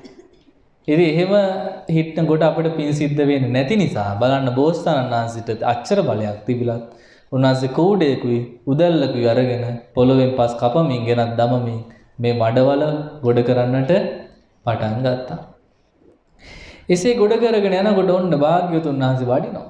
කොහොමද වඩින්නේ 40000ක් රහතුන් වහන්සේ පිරිවරාගෙන වඩිනවා. දෙවියෝ අහසේ ඉන්න දෙපැත්තේ. සාදුකාර දෙමින් දෑත් නරලේ තබාගෙන දෙවියෝ ඉන්නවා. මිනිස්සු දෙපැත්තේ බෙරග ගහයනවා. සමහර අය අත්පොලසන් දෙනවා. ප්‍රීති ගෝසා පවත්වන සාදුනාද පවත්වනවා. දැන් මේක තමයි මිනිස්සු මේ බුදුගුණ බුදුරජාණන් වහන්සේ පැමිණිච්ච වෙලාවේ පිළිගත්තු හැටි සතුට පළ කරපු හැටි. මිනිස්සුන්ගේ බෙර මිනිස්සු ගණ කියන්නේ මනුෂ්‍ය බෙර දවුල් තම්මැට්ටම් ඕවනේ තියෙන්නේ. දෙවියන්ගේ බෙර ඒක නමක් නෑ දිව්‍ය බෙර. දෙවියොත් බෙර ගහනවා. මිනිස්සුත් ඇයි බෙර ගහන්නේ? සතුට පළ කරන්නේ ස්තුති පූජා වශයෙන්. දැන් අපිත් දැන් පින්කම් වලදී බෙර ගහනවා. ඒතර කලෙලියක් එනවද නැද්ද? එනවනේ නැත්තම් පාළි වගේ නිකන් දානයක් වුණා පිරිතක් වුණා දැන් පිරිත් වල නම් අපි ආට නාටිය වගේ එනකොට දැන් ඈට එහෙම බෙර ගහනවා. ධම්මචක්කෙදිත් බෙර ගහනවා. බෙරේ ගහන්න ඕන තැනට ගහන්න ඕන. දැන් ටිකක් නිදාගෙන ඉඳලා බෙර ගහන එක්කෙනා වෙලාවට නැගිටලා නිදිමතේ හිටියොත් ගහයි වැරදි තැන් වලට බෙරේ. එතකොට ප්‍රශ්නයක්. ඒතර අර හරියට බෙරේ ගහන්නේ කොයි වෙලාවටද? සද්ද මනුස්සා වේසුන් කියනකොට ගහනවා. ඇයි දෙවියෝ සාදුකාර දුන්න කියලා කියන්නේ මේ ධම්මචක්කයට. ඉතින් ඒක බෙරසා බෙර නාදකින් පෙන්වනවා. ඒතර බෙරවලට මිනිස්සුත් කැමති දෙවියොත් කැමති. දෙවියෝ නටන බෙර ගහනකොට. ඔබ දන්නේ දැකලා නැතුවේදනේ. පේන්නේ කොහොමද නේද? අපිට පේන්නේ දෙවියෝ නටන. දෙවියෝ එනවත් වැඩි. ඒතර මේ ශබ්ද පූජා ඒකේ විශේෂානිසංසත් තියෙනවා. එන මේ ශබ්ද පූජාවෙන් කරන්නේ බොහෝ තැන පැතිරෙනවා ඒ ഘോഷා. අපේ ಗುಣ ഘോഷාවත් බොහෝ තැන පැතිරෙනවා. ඒකට අපි කටින් සාදුනාද පැවැත්වුවොත් බුදු ගුණ සත්කාරණා කළොත් අපිට මිහිරි හඬ අන් අය වැඩපවත්වන්න පුළුවන් ශබ්දයක් ලැබෙනවා. අනිත් අය අපේ වචනේ පිළිගන්න ස්වභාවය. ඉතින් මේ ඔක්කොම ලැබෙන නිසා.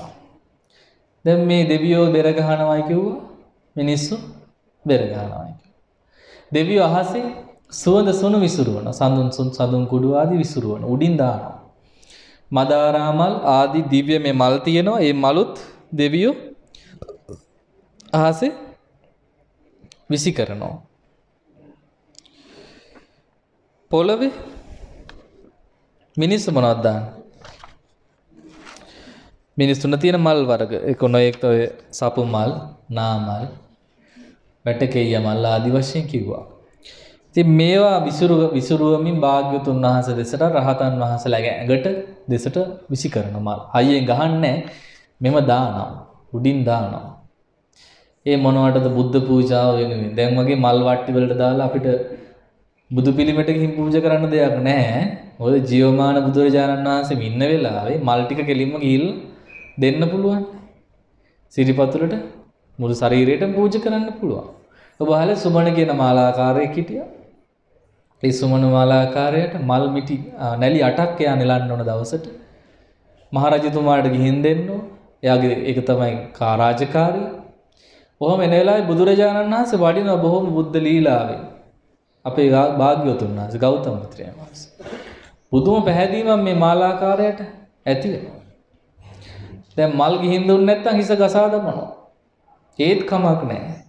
අද නම් මේව පූජා කරන්න ඕන කියලා සමන්මල්.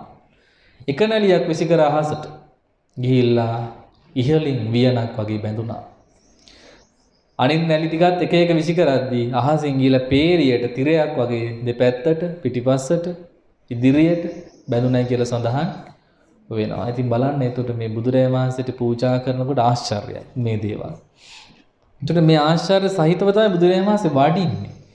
දැන් ඒක බලනකොට ඇස් දෙක පිනා ගියා කාගේද? දීප් මේ සුමේද තාපසතුමාගේ. පිනා ගියාට මොකද දැන් වැඩේ තාම ඉවර කරගන්න බැරි වුණා. දැන් මට තාම දැන් මඩගොඩෙන් බුදුරජාණන් වහන්සේ වඩමවන්න බෑ.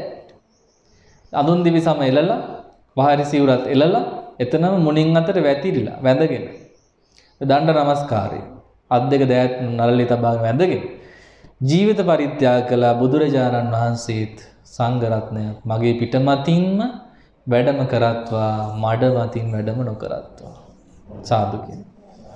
ඔන්න ජීවිත පරිත්‍යාගය. එතකොට එවැනි වෙලාවක තමයි නියත විවරණ ලබන්න පුළුවන් වෙන්නේ. නියත විවරණ ලබන්න කරුණු 8ක් සම්පූර්ණ කරන්නට අවශ්‍යයි.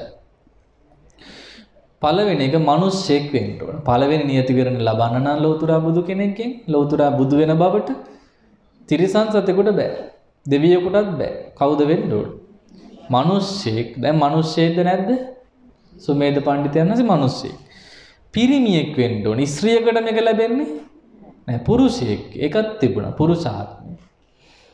අරියත්වයට පත් වෙන්න හේතු සම්පත්. එවෙලේ බණපදයක් ඇහුවොත් නිවන් දකින්න තරම් පින තියෙන්න ඕනේ. ඒකත් තිබිලා තියෙනවා ඒ වෙලාව. ජීවමාන බුදුරජාණන් වහන්සේ නමක් සම්මුඛ වෙන්න ඕන. ඉතින් දීපංකර බුදුරජාණන් වහන්සේත් සම්මුඛ වුණා දැන්. පැවිදි වෙලා ඉන්න ඕන. එක්ක තාපස ප්‍රවෘජාවෙන් නැත්නම් සාසනික ප්‍රයෝරිචාවෙන්. අෂ්ට සමාපatti පංච අභිඥා ලාභී වෙන්න ඕනේ වෙලාවේදී. ආන්න ඒකත් ලබන් සිටියා. බුද්ධ කාර කියන්නේ පාරමී පුරන් උත්සාහය තියෙන්න ඕන. ඒ වගේම බුදු වීමේ අධික කැමැත්තත් ජීවිත පරිත්‍යාගය තියෙනවා. ඉතින් මේ ජීවිත පරිත්‍යාගය ඇති වුණානේ. ඉතින් මේ හිස ළඟට වැඩම කර බුදුරජාණන් වහන්සේ මේ අයට දේශනා කරන බලන්න මේ ජටාදර වූ තවුසා. මේ තවුසා මෙයින් සාරා සංඛ්‍ය කල්පලක්ෂයක් ගිය තැන ගෞතම නමින් ලෞතුරා බුද්ධ රාජ්‍යයට පත් වෙනවා පියා සුද්ධෝදන රජතුමාය මහා මායා දේවියයි අග්‍ර ශ්‍රාවක දෙනම කෝලිත උපතිස්ස දෙනමයි අගුරුපස්සායකයන් වහන්සේ ආනන්තරුන් වහන්සේ අග්‍ර ශ්‍රාවිකාව දෙනම කේම උප්පලවන්නා තෙරණින් වහන්සේලා ආදි වශයෙන් විස්තර කළා. බෝධි ඇසතු බෝධියයි. ඉතින් මේ පිළිබඳ ඔන්න විවරණ විස්තරේ විස්තර කරන්න ඔබ දන්නවා දැන් මේ බුද්ධ ශාසන විස්තරය අපි දන්න නිසා ඒ සියල්ල විවරණ කරන එක තමයි අනාගතයේ මේ දවසේදී මෙච්චර කාලෙකින් මේ නමින් බුදු වෙනවා කියලා කියන එක තමයි නියත විවරණ ලබා දෙනවාය කියලා කියන්නේ. එහෙනම් සුමේද තාපසතුමා දීපංකර පාදමුලින් තමයි නියත විවරණ ශ්‍රී ලැබුවේ උන්වහන්සේට තිබුණා. ඒ මොහොතේ බණපදයක් අහලා අර සංඝ පිරිස කෙලවරින් වැඩම කරන්න තිබුණා. ඒක කොහොමද හිතුවේ? මම වගේ පුරුෂයෙක් තනිව නිවන් දැකීම සුදුසු සුදුසු නැහැ. අතටපත් නිවන් අතහැර සකල සත්වයා කෙරෙහි පතල මහා කරුණාවෙන් තමයි සසරට බැස ගත්තේ. ඒ නිසා තමයි ගෞතම නම් බුද්ධ ශාසනයක් අද මේ පහළ වෙලා අපි බණ අහන්නේ. නැත්තම් ඉතින් පහළ වෙන්නේ නැහැ. එහෙම ගියා මේ බුදු මේ බුදු වෙන්නේ නැතුව රහත් වෙන්න හිතුණා නම් අද බුදු සසුනක් ලැබෙන්නේ නැහැ. එතකොට හිතුනේ මොකද්ද? මේ දුක් විඳින සත්වයෝ සසරින් එතර කරවන්න ඕනේ කියන එක. ඒක තමයි ප්‍රාර්ථනාව. ඒකටනේ බුදු වෙන්නේ. නැත්තම් ශ්‍රාවකෙක් වෙලා නිවන් දැක්කත් නිවනම තමයි. එකම දේ වෙන්නේ සසරින් දැන් මේකේ වටිනකම තමයි කෝටි ප්‍රකෝටි අසංකේය අප්‍රමේය ගණන් සත්වයන් අමා මහ නිවනට පත් කරවන්නට ලැබෙනවා. අපේ බුදුරජාණන් වහන්සේ තුල ශ්‍රාවක සන්නිපාත තිබිලා තියෙන සූවිසි සමාගමයක්. ඒ සූවිසි සමාගමේදීම අසංඛ්‍ය බැගින් සූවිසි අසංඛ්‍යයි. ඒ කියන්නේ අසංඛ්‍ය 24ක්. නිවන් අවබෝධ කර තියෙනවා. පළවෙනි ධර්ම දේශනාවෙන් 18 කෝටියක් බ්‍රහ්ම රාජයෝම අරිහත්වයට දැන් මිනිස්සු ගැන විතරන්නේ කතාව තියෙන්නේ. දෙවියෝ දැන් වැඩියෙන්ම මේ ශාසනය නිවන් දැකලා තියෙන මිනිස්සු නෙවෙයි. දෙවියෝ සහ බ්‍රහ්මයෝ. ඒත් කවුද? සසර දුක් විඳින සත්වයෝ. දැන් දුක් විඳින්නේ නැහැ. නමුත් සසර හිටියොත් අනාගතයේදී අපි වගේම මේවට වැටිලා දුක් දැන් අපි විඳින සැප නෙවෙන්නේ. මෙහි ඇවිල්ලා දුක්නේ. ලෙඩ වෙනවා, වයසට යනවා නේද? මානසික දුක්, කායික පීඩා මේව තමයි අපිට ලැබෙන්නේ. ඉතින් දෙවියොන්ටත් ඕක ලැබෙනවා. හැමදාම දිව්‍ය ලෝකෙ ඉන්නේ නෑ. දැන් මෙතන ඉන්න අය දිව්‍ය ලෝකෙ ඉන්නේ නැති. ආයුෂ ගෙවිලා ආයි මෙහෙට. ඉතින් නමුත් ඒ නිසා දෙවියොත් අසරණයි, බ්‍රහ්මයොත් අසරණයි. නැත්නම් අනාතයි. මිනිස්සුත් අනාතයි. ළඟදී අහලම කාම ලෝක අනාතයි, රූප ලෝක අනාතයි. හැම ලෝකෙම අනාතයි. ඒක ඇත්තටම අනාත තමයි. තව ඔහොම හිටියොත් ඔහොමත් අනාතයි. අපිත් තව දුරටත්. ඒ නිසා අනාත නොවි නාත වෙන්න ඕන. නාත කියන්නේ මොකද්ද? පිහිට. තෙරුවන් සරණ ගිහිල්ලා භාවනා මාර්ගයේ යෙදෙන්නට ඕන. එහෙනම් අනාතයි අනාතයි කිය කී ඉඳලා හරියන්නේ නැහැ. එතකොට දිගටම අනාත වෙනවා. ඒ නිසා මේ පිහිට ලබා ගන්න ඕන නේද? අඩුමතරම බුදුගුණ භාවනාවකවත් යෙදෙන්න. බලමු අපේ මේ සිල්පිරිස ඇතුළින් ඉන්න අයගේ තත්ත්වය. බුදුගුණ වඩන අය පොඩ්ඩක් අත උස්සන්න බලන්න. ගෙදරදී. හොඳයි සාදු කියන්නේ වඩන අයට. එහෙමවත් කරගන්න ඕන. නැත්තම් මුකුත්ම නැති වෙනවා. වාඩි වෙලාම විතරක් නෙවෙයි. උපාසකම්මල පොලේ යනකොට ගමේ යනකොටනේ බස් එකේ යනකොට පුළුවන් තරම් බුදු ගුණම හිතන්න. අරහන් ගුණේවත් හිතන්න. බුදු ගුණ අනන්තයි කියලාවත් හිතන්න. සියලු සත්වයෝ දැන් මෙහෙම වත් හිතන්න කියන්නේ මේක මේ සුළුපටු එකක් නිසා නෙවෙයි. ඒක ලේසි නිසා. අමාරු නැති නිසා. මොකද වැඩි හිතන්න දෙයක් නෑ. එහෙමවත් හිතන්න කියන්නේ ඒක පින අඩු නෑ. පින අනන්තයි. එහෙනම් නිකරුණේ ගෙවිලා යන ඔබේ කාලේ නොගෙවෙන යමක් රැස් කරගත්ත වෙනවා බුදුගුණ මනසිකාරයක. මෛත්‍රී භාවනාවක දැන් ප්‍රායෝගිකව මෛත්‍රී කරන්න පුළුවන් අපි හිතමු බස් එකේ යනවා. බස් එකේ යනකොට නැග්ගම බස් එකේ ඉන්න ප්‍රධානිය දෙන්නෙක් අයිතිකාරයෝ කවුද දෙන්න? අපිව පදවගෙන යන රියදුරු. අපිට මෛත්‍රියෙන් ආමන්ත්‍රණය කරන්නේ කොන්දොස්තර. මාරු සල්ලි ඉල්ලන්නේ යා. දැන් මේ දෙන්නාටම අපි අනිවාර්යෙන් මෛත්‍රී කරලා තියාගන්න ඕන කලින් එන්න කලින්ම කරන්න ඕන. ළඟට අවිල බයිනකොට මෛත්‍රී කරන්න ගත්තොත් මෛත්‍රී වැඩෙන්නේ නැහැ. ඊට පස්සේ පරුසා වාචා තමයි කියවෙන්නේ. ඊට පෙර අපි කරන්න ඕනේ මෛත්‍රී.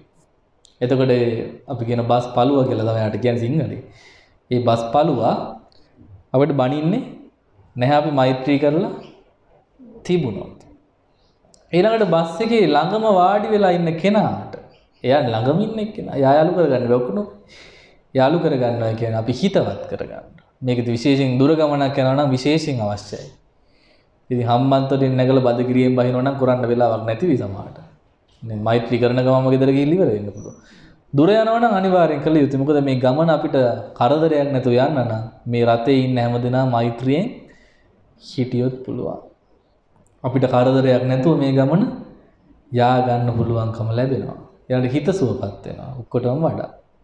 අට බස් එක ඉදිරියෙන් ඉන්න අය පස්සෙන් ඉන්න මූණ බලන්න ඕනේ හිතලා කරන්න. මූණ බලන්න ගියොත් මෛත්‍රී වැඩිලා වෙන මොකක් හරි වෙන්න පුළුවන්. වැඩිපුර බලන්න ගිහින්. ඉතින් වැඩිය බලන්න යන්න ඕනේ නැහැ පවුද ඉන්නේ කියලා. පේන මාන ඉන්න අය සිහි කරලා මෛත්‍රී කරන්න සියලු සියලු දෙනා සුවපත් වේවා මෛත්‍රී කරන්න. අපේ නාවියනේ ලොකු ස්වාමීන් වහන්සේ උන්වහන්සේ මතක් කරන පාරේ වඩිනකොට ස්වාමීන් වහන්සේ වාහනයක. උන්වහන්සේ මේ මෛත්‍රී භාවිතා කරපු හැටි.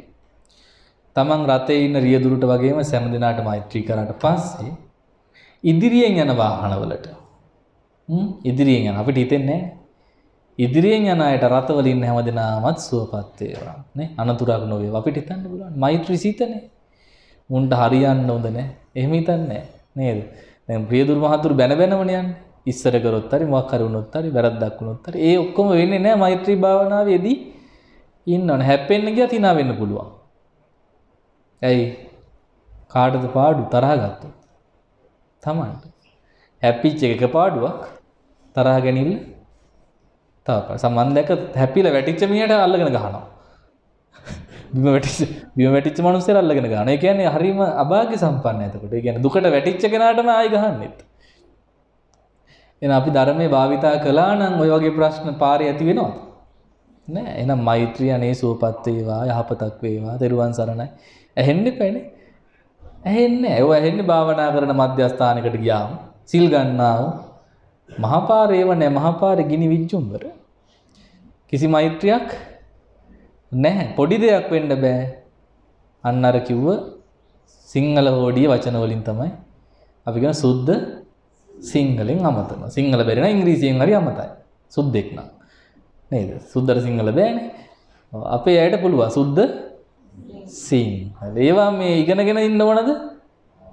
නෑ ඒක ඉබේටම අපි හැමෝටම ඕන කෙනෙක්ට අපි සිංහල නම් අපිට එනවා. ඒක එන්නේ ද්වේෂයත් එක්ක. එතකොට එහෙම තමයි වෙන්නේ. එතකොට මෛත්‍රිය යන වඩන හැටි කොහොමද වැඩුවේ?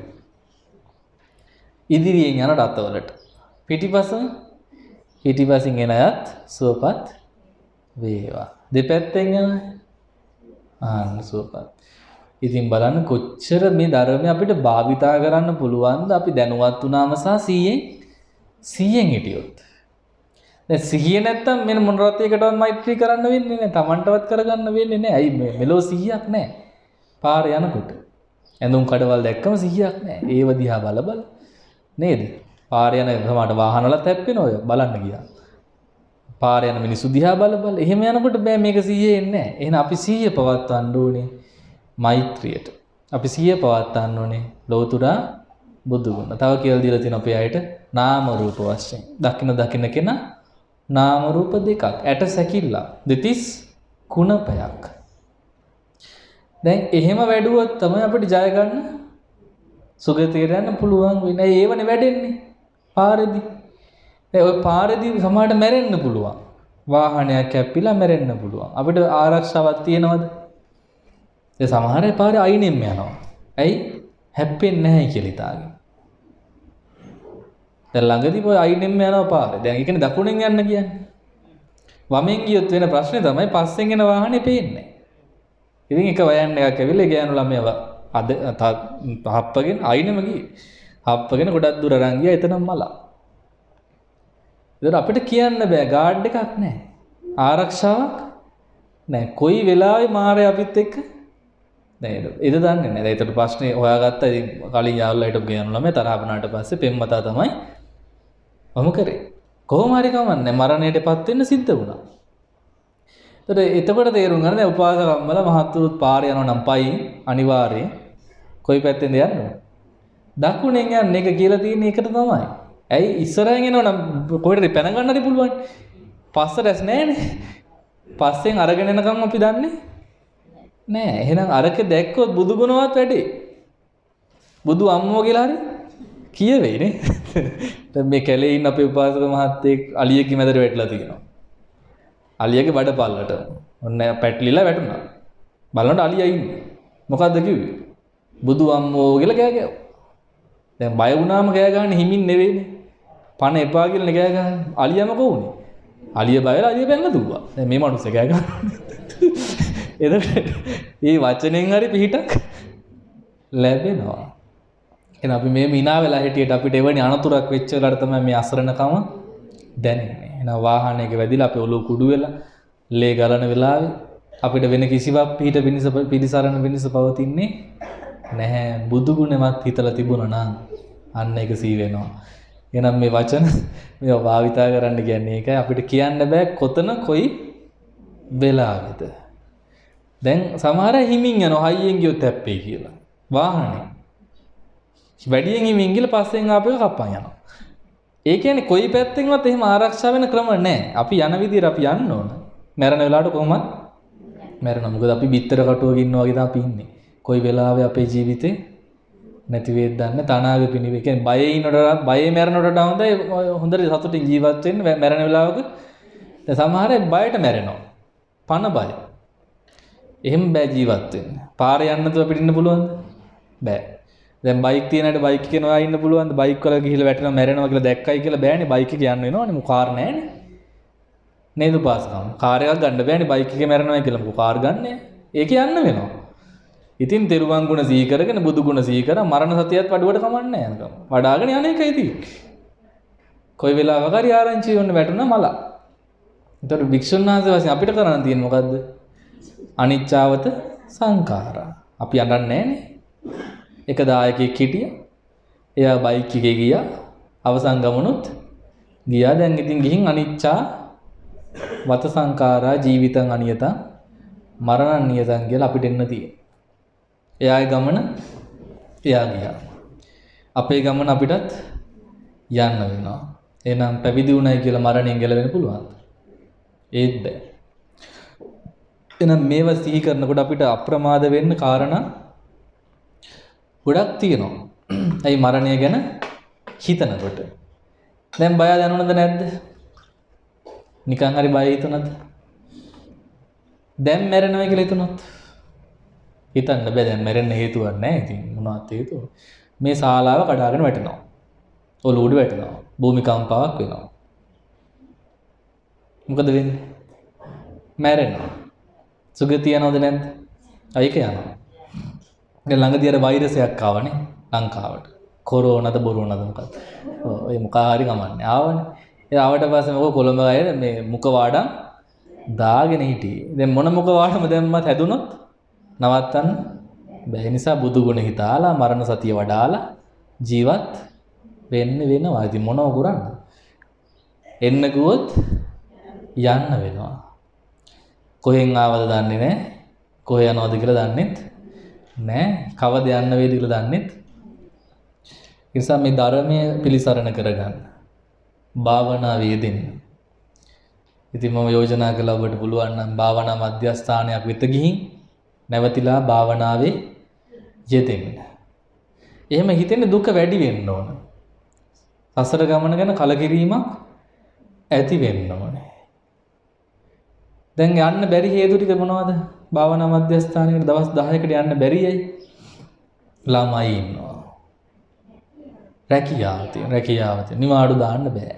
දෙන්නේ අපි ගත්තොත් හෙට මේ උපාසකම්ම මැරෙනවා. දැන් වැඩපලෙන් මොකද කියන්නේ?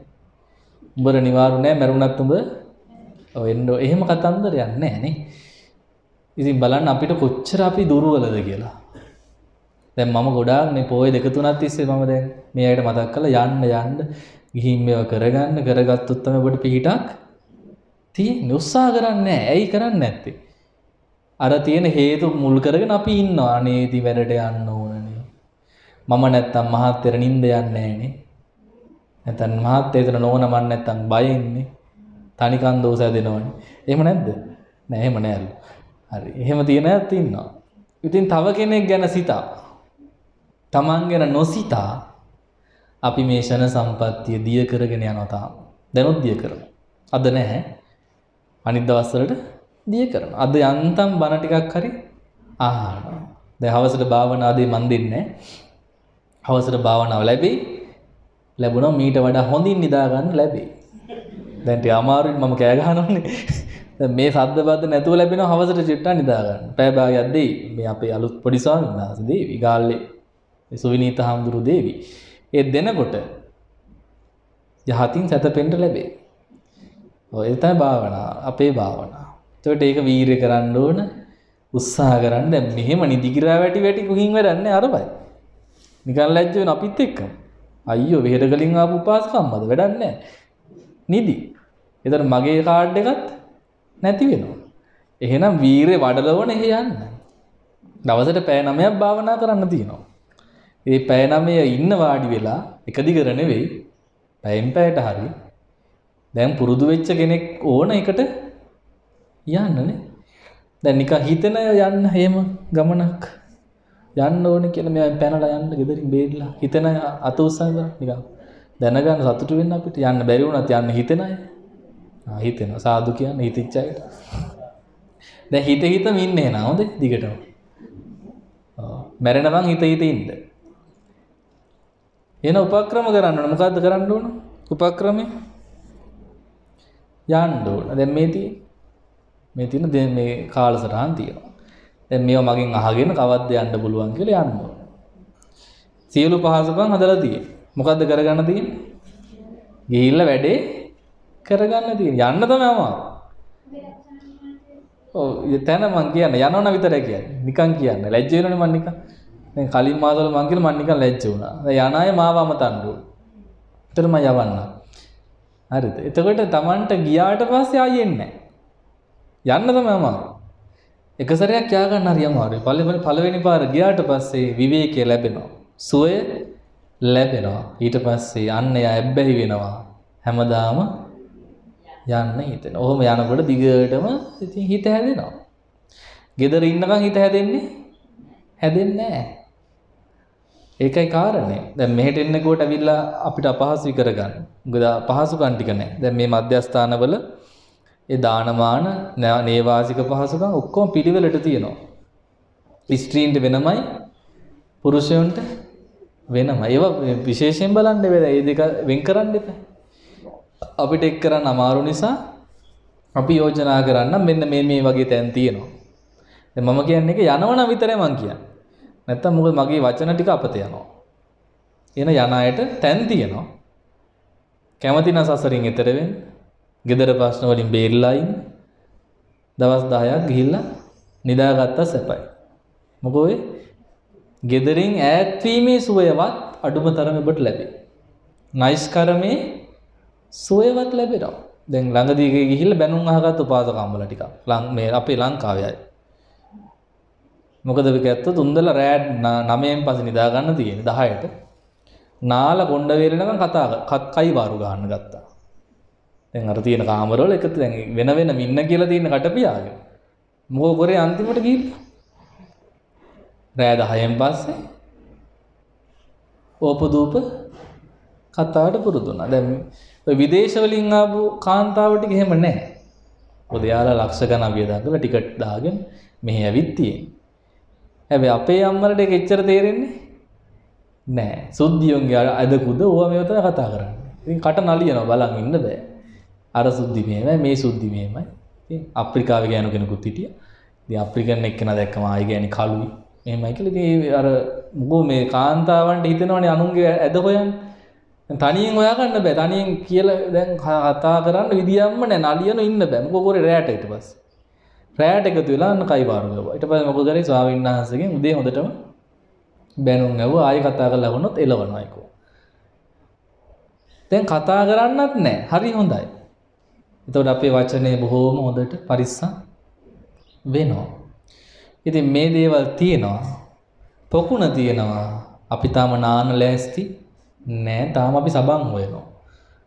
නාන්න කලින් අපි සබන් හොය හොය ඉන්න තාම නාන්නත් ඕන සබන් කැටයක් නෑ තාම. එහෙම නේද? එහෙනම් වැඩේ කරගන්න මහ ලොකු දෙයක් නෙවෙයි. දවස් 10කට ඔබට තියෙන gederin ඈත් වෙලා ඉන්න. ඒක හරි ගියොත් සදහටමත් ඈත් වෙන්න ලැබේවි. එහෙම ඈත් වෙන කැමති අය සදහට වෙන්න ආයිමත් අත උස්සන්න බය වෙන්න නැතුව. බය වෙන්න එපා. මම මුකුත් කියන්නේ මම මේ සතුටු වෙන්න උස්සන්න කියන්නේ. මෙච්චර කල් බණ අහලා මොනවාරි අරන් තියද බලන්න එපා. දැන් ඔහොම ගෙදර ඉන්න එකද හොඳ ඈත් වෙන එකද? හොඳයි කියන අය ගෙදර ඉන්න එක සාදු කියන. ගෙදර ඉන්න එක හොඳයි කියන්නේ. ගෙදරින් යන්න තියෙන හොඳ නම් ආ සාදුකාරයෙකුත් දෙන්නේ අය. ඔව් ඉතින් අනිවාර්යෙන් ඒකත් ඡන්දයෙන් හැමෝම කැමති මොකද්ද? ගෙවල් වලින් යන්න. යන්න බැරුව තමයි ඉන්නේ. ඒකට මොකද අඩු? වීරය. තාම ගිනි පත්තු වෙලා නැහැ. පත්තු වුණොත් පස්සවත් නොබල තමයි දුවන්නේ. ඒ තරම් දෙයක් තාම වෙලා නැහැ ජීවිතේට. එහෙම වුණා නම් දුවනවා ඉන්නේ තාම අර ටිකයි හොඳයි වගේ අර හොඳ දේවලු ටිකක් තියෙන නිසා ඒවට ඇලිලා තමයි ඔය ඉන්නේ. ළමයි බලන්න තියෙනවා මොනුපුරු මිනිබිරියෝ ඉන්නවා අනේ දාලා ගිහින් කොහමද? දැන් බුදුරජාණන් වහන්සේට බෝසත් අවදියේ ඔය දීපංකර පාදමූලයේදී ලැබිච්ච අවස්ථා අතහැරියා. අතහැරලා කොච්චර කල් රැඳුණද අපි වෙනින් සසරේ? සාර අසංඛ්‍ය කල්ප ලක්ෂයක්. අසංඛ්‍ය හතරකුත් කල්ප ලක්ෂයක්. ඉතින් ඒ වෙලාවේ දැන් විවරණ ලැබුණට පස්සේ දෙවි මිනිසුන් මල් පූජා කළා. විශේෂයෙන් බුදුරජාණන් වහන්සේ පවා මල් 8මිටක් පූජා කළ බව සඳහන් වෙනවා. දීපංකර බුදුරජාණන් වහන්සේ පවා අපිට හිතන්න බැරි දෙයක් නේ. මොකද ඒකේ මොකද්ද කාරණේ Taman වැනිම තව කෙනෙක්. අද Taman වහන්සේ මෙසේ වැඩ සිටිනවා. මේ බිම ඉන්න මිනිස්සයා කවදා හරි දවසක මේ தත්වෙටම පාත් වෙන අන්න එදා ගැන හිතලයි. මතු බුදුවනේ බුදුවරයන් වහන්සේ ගෞතම බුදුරජාණන් වහන්සේ ගුණ සිහි කරලා තමයි දීපංකර බුදුරජාණන් වහන්සේ අර මල්ලට මිට පූජා කරන්න. ඒක ඒකාන්තයි. සැකයක් නෑ. ආයි අතරමඟදී මේක වෙනස් වෙන්නේ නෑ. ඒක ඒක ඒකාන්ත බව නියත කියන්නේ. ඒ වෙනස් වෙන්නේ හරියටම කාලවකවානුව හැදිලා ඉවරයි දැන්. තව සාරාසං කල්පලක්ෂයකින් ආයෙත් මේ බුදු නොවි බුදු බුදු වෙන උතුමෙක් ඉන්නේ එතන. බෝධි බෝධි අංකුරයන් වහන්සේ නමක්. ඒ තරම් වටිනවා. ඒ තරම් ශ්‍රේෂ්ඨයි. ඇයි දැන් දන්නවා අනිවාර්යයෙන් බුදු වෙන කෙනෙක් මේ. ලේසි පහසු කෙනෙක්. ඒ නිසා බුදුරජාණන් වහන්සේ මල් අටමිඩක් පූජා කරලා පැදකුණ කොට ගිය බව සඳහන් වෙනවා. 40 40000ක් නේ. 40000ක් මහරහතන් වහන්සේලාත් මල් පූජා කරලා පැදකුණු කර ගිය බව සඳහන් වෙනවා. සියලු මිනිස්සුත් දෙවියනොත් දිව්‍ය මල් සුගන්ධයෙන් පූජා කොට ගිය බව සඳහන් වෙනවා. කිව්වලු මිනිස්සු ඇවිල්ලා මොකද්ද කිව්වේ? අද මේ දීපංකර ශාසනය අපිට නිවන් දකින්න බැරි වුණොත්, වැරදුනොත් අපි ඔබ වහන්සේ ළඟට එනවා. හරියට මොනවාගේ? තොටුපොළවල් දෙකක් තියෙනවා. එක තොටුපොළකින් යන්න බැරි වුණොත්, වීරිය මදි වුණොත්, පස්සේ තියෙන තොටුපොළෙන් හරි එතර වෙනවා වගේ ඔබ වහන්සේ බුදු වෙන දවසක අපිත් එන්න. අද බැරි වුණොත් හැබැයි. අද බලන උත්සාහ කරලා දැන් අපිත් කරන්නේ එහෙමයි. අද උත්සාහ කරනවා බැරි වුණොත් මතු ශාසනයක දිවත් නිවන් දකින්න අපි කුසල් කරන්න ඕන. දැන් මේව බලලා අපි එක දැනගන්න ඕන. එහෙන් ප්‍රාර්ථනා කරන්න. ඒ ප්‍රාර්ථනා කරපු අය තමයි මේ ගෞතම බුද්ධ ශාසනයේදී නිවන් අවබෝධ කරේ. ඒවා මේ අහම්බෙන් වෙච්ච දේවල් නෙවෙයි සසරේදී හදාගත්තු දේවල්. දැන් අද කිව්වේ නේද? උදේ දේශනාවේ කිව්වේ ස්වාමීන් වහන්සේ මොකද්ද කිව්වේ? අග්‍ර ශ්‍රාවක තනතුරු ලැබුණේ නිකන් අහම්බෙන් නෙවෙයි. සසරේදී දන් දීලා ප්‍රාර්ථනා කළා. අනෝමදස්සී භාග්‍යතුන් වහන්සේ පාමුලදිනේ ප්‍රාර්ථනා කළේ. ඉතින් ඒකනේ ලැබුණේ. ආන්නේ වගේ ඔබත් ප්‍රාර්ථනා කරගන්න අපට ලෝතුරා බුදුරජාණන් වහන්සේලා අභිමුඛයේදී ධර්ම අවබෝධ කරගන්න ලැබේවා. දැන් නොලැබෙන දේවල් ලැබෙනවා කියලා මේ රැවටිලා ඉඳලා වැඩක් නැහැ. ඒකයි මම දාම මේ මෙහි තියෙන ප්‍රශ්නේ එකයි ගොඩක් අය කැමති නැත්තේ ඒකයි. මොකද නිවන් දකින්න බැහැයි කියලා කියනවනේ අපි. දැන් ඔබ බැහැයි කියන්නේ පේනවා. කරන වැඩ බැලුවම පේනවා. දැන් නම් නිවන් දකින්නේ. ඒ නිසා ඔබ අනාගතය ගැනවත් හිතන්න. මතුමත්යවත් බුදුසසුනක් සම්මුඛ කරගන්න අපි උත්සාහ කරන්න ඕන. නිකන් අදාද ලැබේවා කියලා නිකන් තාල ටිකුවට ලැබෙන්නේ නෑ ඒ ලැබෙනවනේ අපිත් කැමති අපිත් ලබනවා. දැන් සමහර මධ්‍යස්ථාන තියෙනවා පින්වත්නි එහෙම දෙනවා ළඟදී. අද අදාදම නිවන් දෙන්න තැන් තියෙනවා. අර එයින් ඒකට ආවොත් වැඩේ හරි. මොකද වැඩේ හරි කියන්නේ සාරාසංඛ්‍ය කල්පලස්ස අල්පලස්ස ගණ එහෙම ඕනේ මාසයයි දෙකයි. එතනින්ම අවසానයි. ඔක්කොම ඉවරයි. සසර ගමන මැයි ඉවර මොකද? එයාට වීරිය ඇති වෙන්න ඊට පස්සේ දැන් මගේ වැඩේ හරි දැන් මං සෝතාපන්නයි. එක උපාසකම්ම කෙනෙක් ඇවිල්ලා මේ අම්බලන්ගොඩ පැත්තේ දානි වෙරළ බණ කියනකොට හොඳ රහන් හිටියා බෑ හොඳ. බොහොම සමාධිමත් කෙනෙක්. මට කිව්වා මම සතර අපායේ මිදලා කොයි. මම එකපාරට ටිකක් බය වුණා ඉතින් එකපාරට එකපාරට දැන් අද වගේ කාලේ සතර අපායේ මිදුණා කොහොම බය හිතෙනවනේ. මොකෝ ඇත්තට මිදෙනව නම් බය නැහැ. දැන් වෙලා තියෙන්නේ මොකෝ කර්මස්ථානාචාර්යයන් වහන්සේත් මුලා වෙලා යෝගාවචරයත් මුලා වෙලා. දැන් මම ඔබට යන්න යෝජනා කළේ එහෙම තැන් වලට නෙවෙයි. හොඳට අමාරුව තේරෙන තැන් වලට. ලේසියෙන් වැඩේ වෙන තැන් මේවා නෙවෙයි. ඒ කියන්නේ හරියට යන. හරි ක්‍රමයට යන තැන්. හරි ක්‍රමේ යනකොට වැඩේ ඉක්මන්ද නැද්ද? නෑ. කාලය යනවා ප්‍රතිඵල හැබැයි ලැබෙන කවදා හරි. කෙටි මඟ ගියොත් අතරමං වෙනවා. ප්‍රතිඵල ලැබෙන්නේ නැහැ. සතුටින් ඉන්නවානේ වැඩේ හරි දැන්න සතර අපාය මිදුණා කිය ඉන්නවා. එයා දන්නේම එයා අපාය ගිහිල්ලා. ඇයි ඒකට කියන මුලාව? අදිමානය කියලා කොට කියන්නේ මොකද්ද? අදිමානය. අදිමානය ඇති වෙන්නේ නැහැ භාවනා නොකරන අයට. අදිමානය ඇති වෙන්නේ කාටද? භාවනා කරන අය. දැන් මේ උපාසකම්මල ඒ කියපු අය භාවනා කරන අය. පැය දෙක තුනේ භාවනා කරන අය. සමාධි වඩපු අය. ඒ සමාධිය වැඩුවට පස්සේ මග නොමග දන්නේ නැති නිසා තමයි සමාධියට මුලා වෙලා හිතන්නේ දැන් මම සෝවාන් වෙලා කිය. ඒ කියන්නේ ඉස්සර තරම් අපිට ධර්ම ආචාර්යවරු නැන්නේද? හිත බලලා කමටහන් දෙන්න පුළුවන් අය දැන් නැහැ. කර්මස්ථානාචාර්යයන් වහන්සේට හිතන එක තමයි දැන් කියන්නේ. සමහරට යෝගාවචරයට හිතන එක එයා හිතා ගන්නවා. එතකොට අන්න මග මුලා වෙනවා. ඉතින් ඒ නිසා මතු මත්තේ හරි අපිට බුදු සසුනක් මුණ වේ මුණ ගැහිලා නේද? හතර පද ගාථාගේ බණ අහලා ඊට වැඩියෙන් හරි කමන්නේ. අහගෙන නිවන් දකින්න අපි හිතන්න ඕනේ. ඉතින් බලන්න දැන් දීපංකර බුදුරජාණන් වහන්සේ පූජා පැවැත්තුවා. රාතන් වහන්සේලා පූජා පැවැත්තුවා. එසේම මිනිස්යොත් දෙවියොත් පූජා කළ කියලා ගියා. මේ සසුන වැරදුනොත් අපි ඔබ වහන්සේ වෙත එනවයි කියලා කියලා ගියා. දැන් ඔක්කොම ගියාට පස්සේ දැන් බෝසතාණන් තනි වුණා. දැන් ඉතින් අර පස්සේ යන්න දිවිච්ච ගමන නැතේරි. බලනකොට ලොකු මල් ගොඩක් දැන් ඇයි ඔක්කොම දැන් ලක්ෂ ගාණක් මල් පූජා කරලා දැන් මඩ ගොඩක් නැහැ එතන. දැන් මල් ගොඩක්.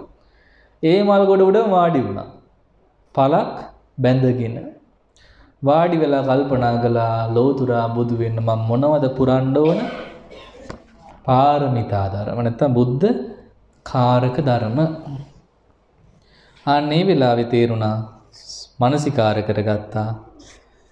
පුරන්න ඕන පළවෙනි පාරමිතාව දාන පාරමිතාවයි. දාන පාරමිතාව කියන්නේ දන් දීම. දන් දීම කෙසේ කළ යුතුද? කලයක් මොණින් අතර ඇරෙව්වට පස්සේ ඒ කලේ වතුර ඉතිරු නොවි ගලා යනවා වගේ කිසිවක් අල්ලා නොගෙන දන් දිය යුතුයි. දෙවනුව බැලුවා මොකද්ද දෙවනි බුද්ධ කාරක ධර්මයේ සීල පාරමිතාව. සෙමරමුවා වලිගය රකින්නවා වගේ සීල රකිය යුතුයි කියලා දැක්කා. ඔය ඉන්දියාවේ ඉන්න හිමාලේ සෙමරමුවා කියලා මුවෙක් චාමර කියලා කියන චාමර. චාමර දැකලා තියෙද? ගමේ චාමර. අය චාමර නෙවෙයි. මේ මේ චාමර සලනවා කියන ඔය මේ ඒ මුවාගේ වලිගේ කපලා ගත්තම හදන්න පුළුවන් පවන් සලන එක. ලස්සනයි. ඔව්. කෙඳි වගේ තියෙන්නේ. ඒ ලෝම ඉතා දිගයි සුදු පාටයි. ඔය රජ කාලේම තිබුණා චාමර සලනවා කියලා එකට කියන්නේ. ඉතින් මේ සෙමරමුවාගේ වලිගේ ගොඩක් දිගයි. ලස්සනයි. මේක බැරි වෙලාවත් කටුවත් එක පැටලුනොත් මේ මුවා යන්නේ නැහැ. යන්නේ නැහැ මොකෝ ප්‍රශ්නේ. එයාට තේරෙන්නේ නැහැ මැරෙන බව. එයා ලෝභයි මේ වලිගේ කැඩේ කියලා. අර එක කෙන්දක්වත් කැඩේ කියන බයට එහෙම ඉඳලා මෙයා මැරෙනවා. එමුව මැරෙනවා. ආන්නේ තරම් සීල රකින්න ඕනේ කියලා. ඒ සීල පාරමිතා. දිවි දෙවෙනිකොට රකින්න සීලය. ඊට වෙලා තුන්වෙනි පාරමිතාව මොකද්ද? නෙක්ඛම්ම පාරමිතා. ඔය බන්ධනාගාරේ හිරගෙදර ගැට ගහලා හිටියෝ මිනිස්සෙක් හිරේක දාලා තිබුණොත් එයා සතුටින් ඉන්නවද? එහෙනම් ගිහි ජීවිතය කියන්නේ හිරගයක්. පිළිගන්නවද නැද්ද? පිළිගන්නවා. හිරේ දැම්මම සතුටින් ඉන්නවද? අනේ ප්‍රීතියෙන් නට නට හරි සනීපයි මේ හිරගෙදර කියලා එහෙම ඉන්නේ මේකෙන් කොයි වෙලාවෙ පැනලා යන්නද කියලා ඉන්නන්නේ වගේ බෝසතාණන් වහන්සේ නිතරම බලනවා ගිහි ජීවිතයෙන් මිදී යාමේ කැමැත්ත. නෙක්ඛම්ම පාරමිතා. කැමැත්ත විතරක් මදි යන්නත් ඕන. දැන් කැමැති කැමැති කිය ඉන්නවා. පාරමිතා පිරෙන්නේ නැහැ නේද? පිරෙන්න නම් යන්නම ඕන. දැන් විශාකා මහවැසිය වුණත් දැන් සමහර තව කියනවා දැන් දන්නේ නැතිකමට ගෙදරින් දන්නේ සෝවානුනේ කියලා. නමුත් අතීත බුදු සසුන් වල එතුමිය පවා ශාසනය පැවිදි වෙලා ඉඳලා තියෙනවා. භික්ෂුණියක් වෙලා ඉඳලා තියෙනවා. කාශ්‍යප බුද්ධ ශාසනයේ භික්ෂුණියක්. ඒ එහෙම වෙන්න නැතුව මේ පාරමී පිරෙන්නේ නැහැ. පැවිදි වෙන්න ඕන. දැන් අපිට එක අතකින් දැන් සතුටුයි අපේ එක පාරමිතාව දැන් පිරලා තියෙනවා ලේසියෙන්. නෙක්ඛම්ම පාරමිතාව උත්කෘෂ්ටව පිරෙන පැවිදි වුණා. සාමාන්‍යයෙන් පිරෙනවා සිල් සමාදන් වෙන්න එහෙම එනකොට සාමාන්‍යයෙන් පිරෙනවා. දැන් සාදුකාරයක් දීලා කවුරු අනුමෝදන් වෙනවා. එතකොට මේ මේ පැමිණි ගමනින් සුළු වශයෙන් හරි පිරෙනවා. හැබැයි උත්කෘෂ්ටව පිරෙන්න සම්පූර්ණ වෙන නම් අපි ජීවිතය අතහැරලම යන්න ඕන. එහෙනම් බන්ධනාගාරයක් හිරගෙදරක් තමයි ගිහි ජීවිතේ. එයින් එතර වීම තමයි නෙක්කම්ම පාරමිත. සිව් වෙනුව බලනවා ප්‍රඥා පාරමිතා. එන සියලු සත්වයන්ට උපකාර කරනවා ප්‍රඥාව. තමන්ගේ නුවණින් ලෝකෙට පිහිට වෙන්න පුළුවන්. අවවාද කරන්න පුළුවන්. විපතකින් මුදව ගන්න. දැන් ඔබ දන්නවා ජාතකයක් වශයෙන් ගත්ත උම්මග්ග ජාතකය. නේද? රජ පිරිසම බේරගත්තානේ. උමගක් හදලා. ඒ තමයි ප්‍රඥාවේ ලෝවට පිහිට වෙන්නේ. ජීවිත පරිත්‍යාගයේ ජීවිත රැකදීමට තමන්ගේ ප්‍රඥාව භාවිතා කළා. ওই තියෙන උම්මග්ග ජාතක දැන් මහෞෂධ පණ්ඩිත ජාතකයේදී නේ. එතනමනේ තියෙන්නේ. උම්මග්ග ජාතකෙම තියෙන්නේ. ඔය දික්තල කාලගෝල වස්තුවනේ. අහලා තියෙනවා. දැන් කාලගෝලයි දික්තලයි කසාද වැදලා එනවා.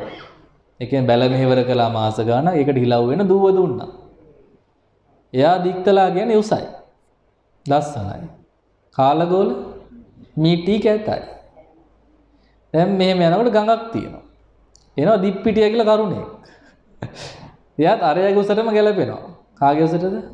දික්තලාගේ. ඒ පාටම ඉතින් හොඳට ගැලපෙනවා. කැපිලා යනවා. දැන් ඉතින් කිව්වා මේ ගම් එතර වෙන්න බැලුවා අරයා මිටිනේ. අර මනුස්සයා කිව්වා මේක නම් එතර වෙන්න බෑ වාට වා මිටිනේ. මේ කියලා මෙයා ගිහින් පෙන්නවා මේ ගඟ ගැඹුරු නැහැ. කකුල් දෙක කකුල් දෙකෙන් දන ගහගෙන බෙල්ල ගාවටම පෙන්නුවා. දැන් උසමිනියාගේ බෙල්ල ගාවට නම් මිටි මනුස්සයා කොහොමද වෙනවනේ. ඊට පස්සේ කිව්වා ඉතින් ඔය දෙන්න මම වෙන වෙනම එකපාරට යන්න බෑ දෙන්න වෙනම අරන් යන්නම් කියලා මුලින් කිව්වා මේ නංගිව මුලින් එක්ක යමු නේද?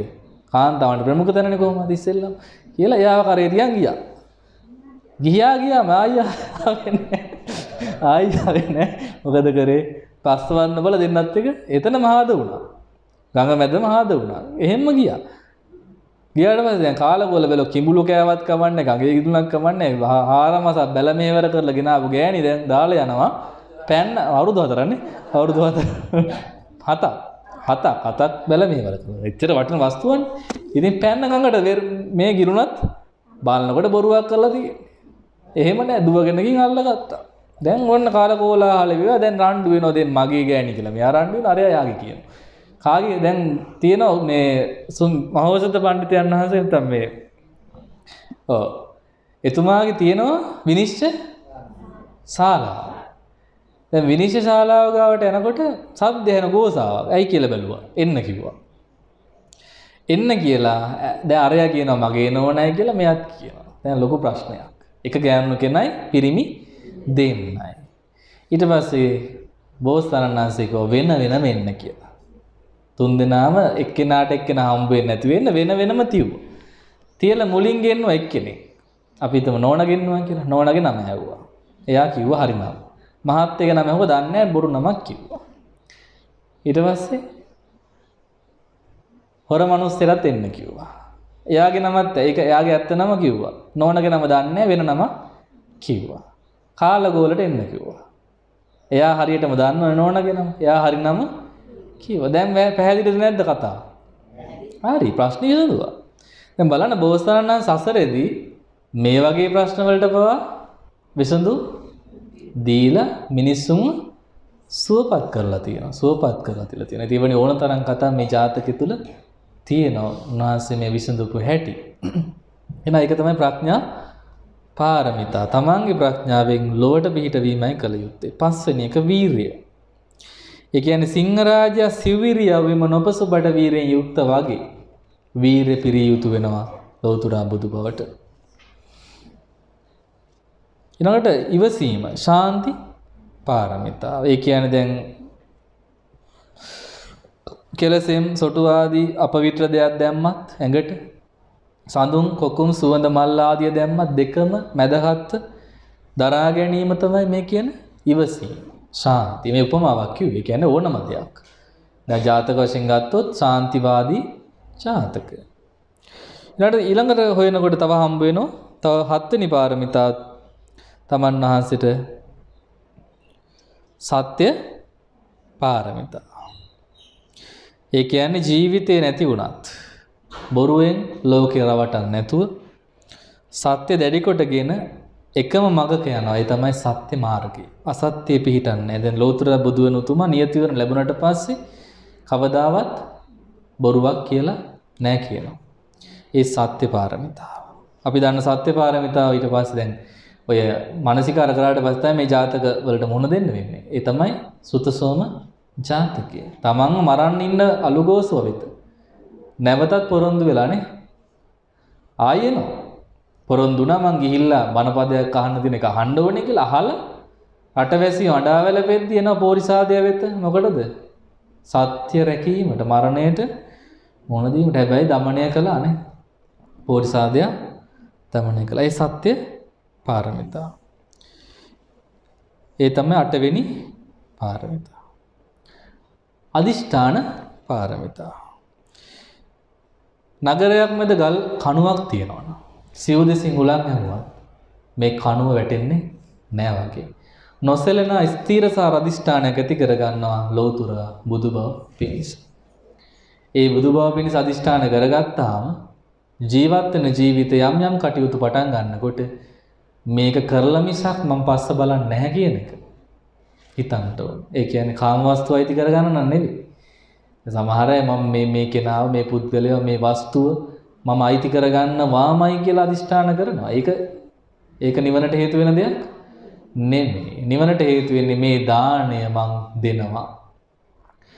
මං මගේ ඇස් දන් දෙනවා. ලේ දන් දෙනවා ආදි වශයෙන් ජීවිතේ මේවනි අධිෂ්ඨාන කළේ පෝස්තනන් ඒ අධිෂ්ඨානය වූ පරිදිම ඉෂ්ට කරගත්තා. එනම් මේ අපිට දාන දෙන්න සිල් රකින්න භාවනා කරන්න මේ හැම දෙයකටම අධිෂ්ඨානය ඕන.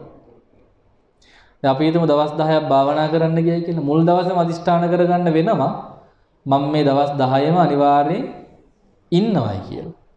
නැත්තම් පැනලා යන්න හිතුනොත් අධිෂ්ඨාන සීරි නොවුනොත් යන්න පුළුවන්. හිතෙන්න පුළුවන් නේ එහෙම යන්න. දැන් පොයට වැඩි ඕනේ නැහැ. පොයේ උදේ 7ට ඉඳලා පටන් අරගෙන 6 වෙනකන් ඉන්නත් අධිෂ්ඨාන එපා. එහෙම නැත්නම් 12ට හිතනොත් එහෙම මම හාෆ් ඩේ දාලා අද යනවා කියලා. දැන් අමාරුයි වගේ බණත් අහලා බෑ මහන්සි වගේ න මොකෝ කරන්නේ? කවුරුත් බලන්න කෙනෙක් නැහැනේ. Taman ආපු බයික් එකෙම නැගිලා Tamanට යන්න කවුරුත් බාධකයක් තියනවද? චෙක් පොයින්ට් එකක් තියනවද? නැහැ. කවුද එන අදිෂ්ඨාන කළ යුත්තේ? තමන්. තමන් හිතන්න ඕනේ මම මේ කටයුත්ත කරලම තමයි යන්නේ. අවසන් කරන්නේ. ඒ වගේ සිල්පද ගැන අදිෂ්ඨාන කරන්න පුළුවන් ජීවිතේ දැන් සමහර සුරාපානය වගේ දෙයක් ගැන ගත්තොත් මම නම් ජීවිතේ සුරා බොන්නේ බොන්නේ නැහැ. කියලා අදිෂ්ඨාන කරන්න පුළුවන්. අපි කරලා හෙට බිව්වොත් ඒක අදිෂ්ඨානයක් වෙන්නේ අද අදිෂ්ඨාන කරනවා අර හවසට හෙට උදේ බොනවා. ඒ පාරමිතාව හයිය තියෙනවද? නැහැ. හයිය නැහැ. එන එක තමයි අදිෂ්ඨාන පාරමිතාව කියන්නේ යමක් හිතුවොත් ඒක ඒකාන්තයෙන් ඉෂ්ට විශේෂයෙන් කුසල් පැත්තේ හොඳේ නැත්නම් වැරදි හිතා ගන්න ඕනේ. ඊළඟ තමයි අවසාන එක තමයි උපේක්ෂා පාරමිතා. උපේක්ෂා පාරමිතාවේ කියන හරි මැද මැදහත් සැප දුක නිന്ദා ප්‍රශංසා මේ සියල්ලෙහිම කම්පා නොවි වාසය කිරීම තමයි උපේක්ෂා පාරමිතා. ඒ කියන්නේ අපේ බෝසතාණන් වහන්සේ සමසොහන මහ සොහනක ඉන්න වෙලාව සිල් සමාදන් වෙලා අදිෂ්ඨාන සීලිය. ගමේ දරුවෝ ඇවිල්ලා කෙල ගහන මූණට හොටු දානවා. කෝටු කෑලි දැන් දත් මැදලා කෝටු කෑලි එක දැහැටි දානවා. ඒ කොම කරලා ගියත් එතුමා කම්පා වුණේ නෑ ඒක උදාහරණයක් ජාතකයකින් මම කිව්වේ. එතන කණ්ඩහාල කියන ජාතකෙත් ඔය අපේක්ෂා බොහොම වෙනවින් තියෙනවා. ඉතින් මේ හැම තැනකම දිනු කළේ අපේ බෝසතාණන් වහන්සේ මෙන්න මේ උපේක්ෂා පාරමිතා. දස පාරමිතා මෙනෙහි කළා ඊට වඩා එක පාරමිතාවක්වත් තවත් පුරන්න නැහැ. එහෙනම් ලෝතුරා බුදු වෙන්න, පසේ බුදු වෙන්න, මහරහත් වෙන්න අපි සියලු දෙනා පිරිය යුතු වෙන්නේ මෙන්න මේ කියන දස පාරමිතා. පසේ බුදු වෙනා නම් උපපාරමිතාව පුරන්න ඕනේ 10ටම ජීවිතේ අංග පරිත්‍යාග කරමින් මේ 10 පුරන්න ඕනේ.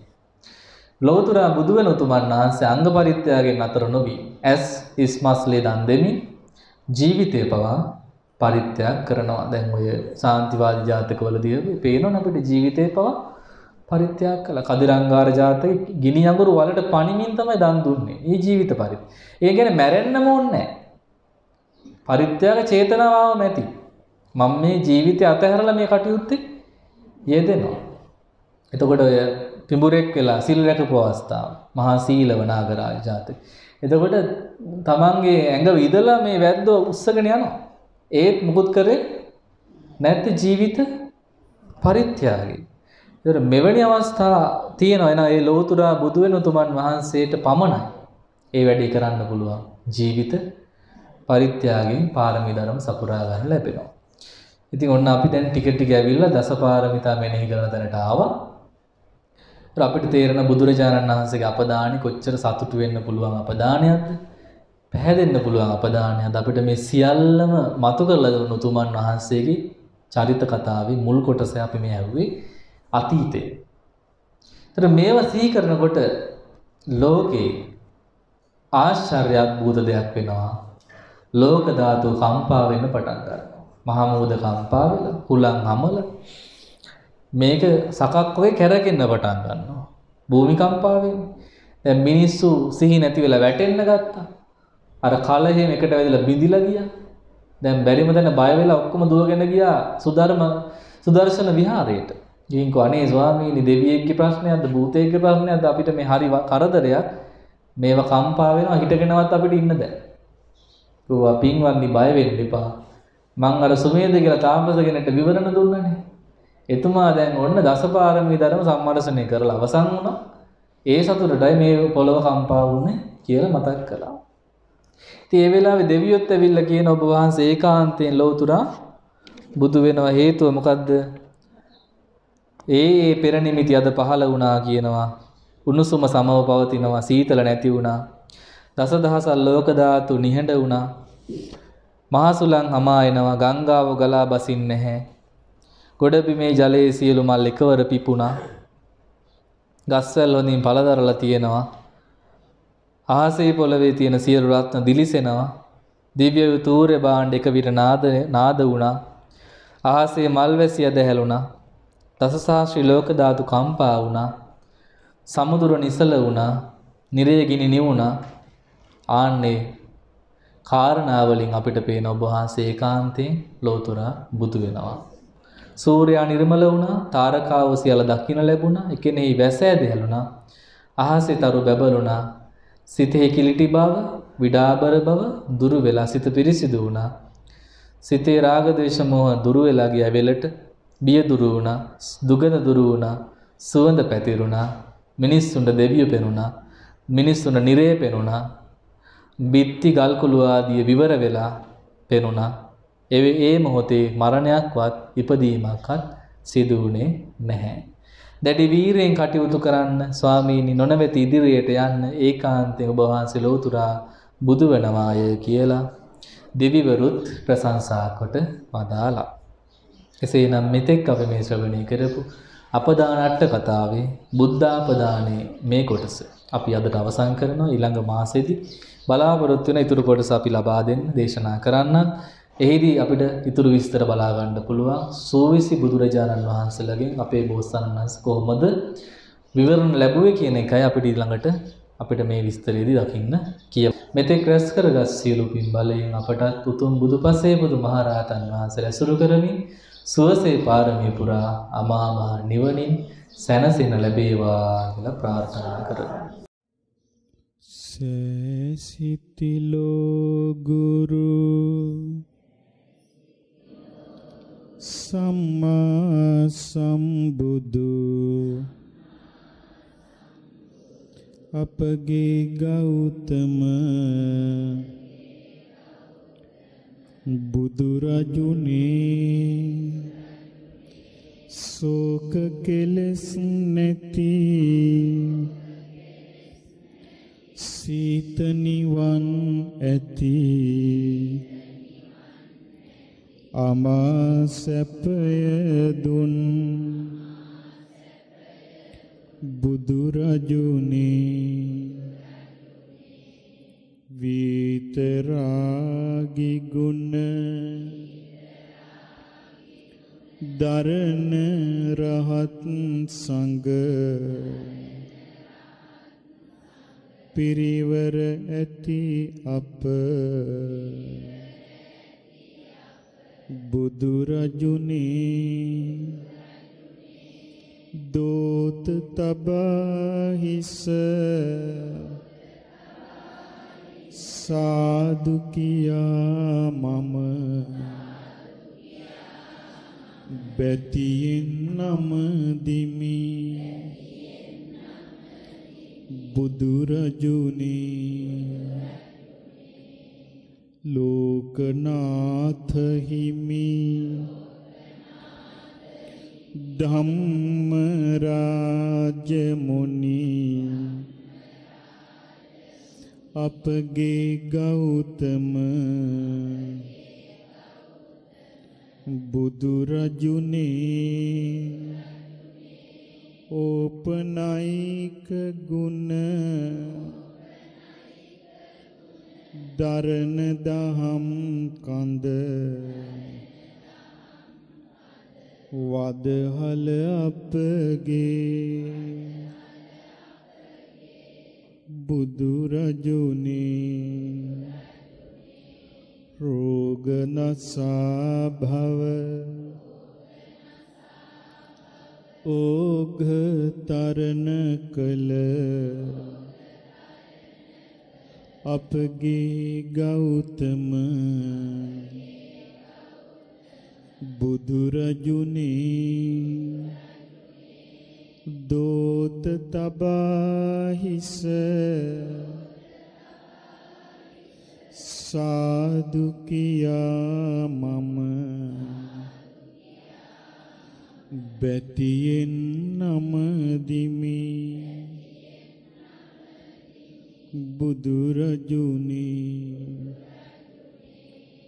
පැවසිනී මත. ගෝර සසරේ වැද. පෙරුම්පිරු අප. බුදුරජුනේ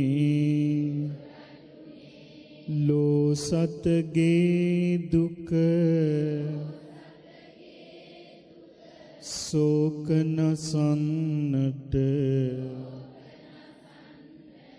වේසුන අපගේ බුදුරජුනේ. රාහුල පුතුහට බිම්බාදේවිට නිවනට මගකිව් බුදුරජුනී දෝත තබාහිස සාදුකියා මම. බැතියෙන් නමදිමි. බුදුරජුනි සුපාක සුනීතට අංගුලිමාලට ලෝතුරු සැපදුන් බුදුරජුනේ කුණ්ඩලකේ සිට කිසාගෝතමිට රැකවරණය දුන් බුදුරජුනේ සාරනිවන් සැප සමට බෙදාදුන් මහාකාරුණික බුදුරජුනේ දෝත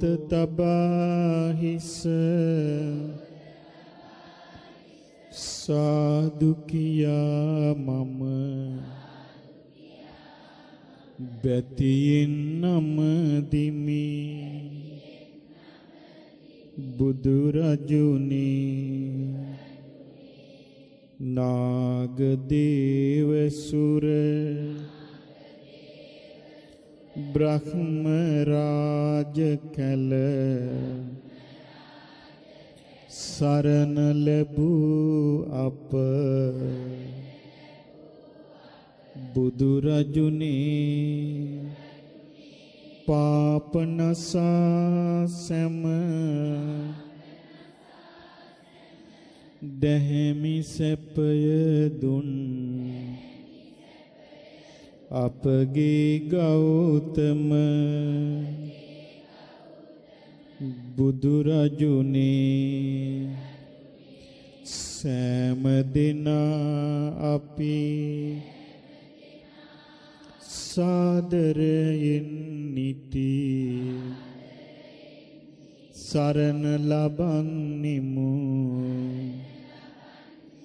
බුදුරජුනේ දෝත පොත තබාහිස සාදුකියා මම. බැතියෙන් නමදිමි. බුදුරජුනේ ඒ භාග්‍යවත්තු අරහතු.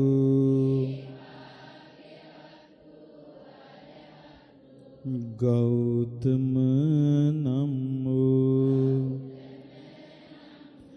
අපගේ සම්මා සම්බුදු රජාණන් වහන්සේ.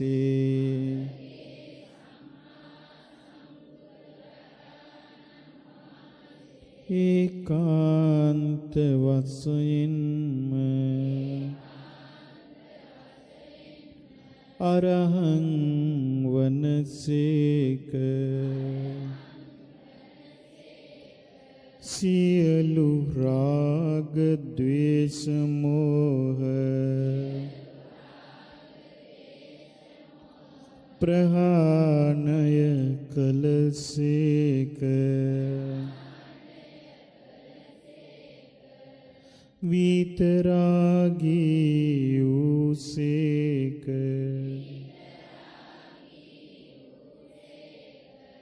විතදෝසී වූසේක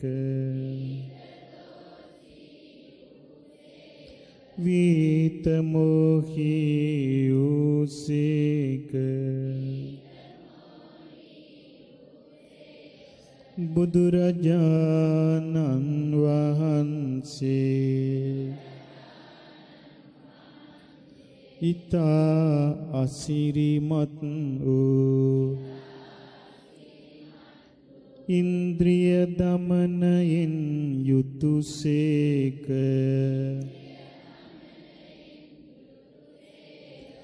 මනා ඉන්ද්‍රිය සංවර ඇතිසේක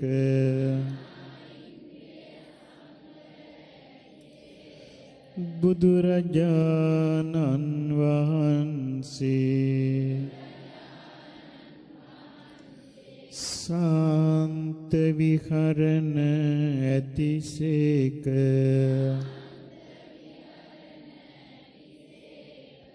නිවීසනසී ගියසේක අමානිවන සාක්ෂාත් කළසේක.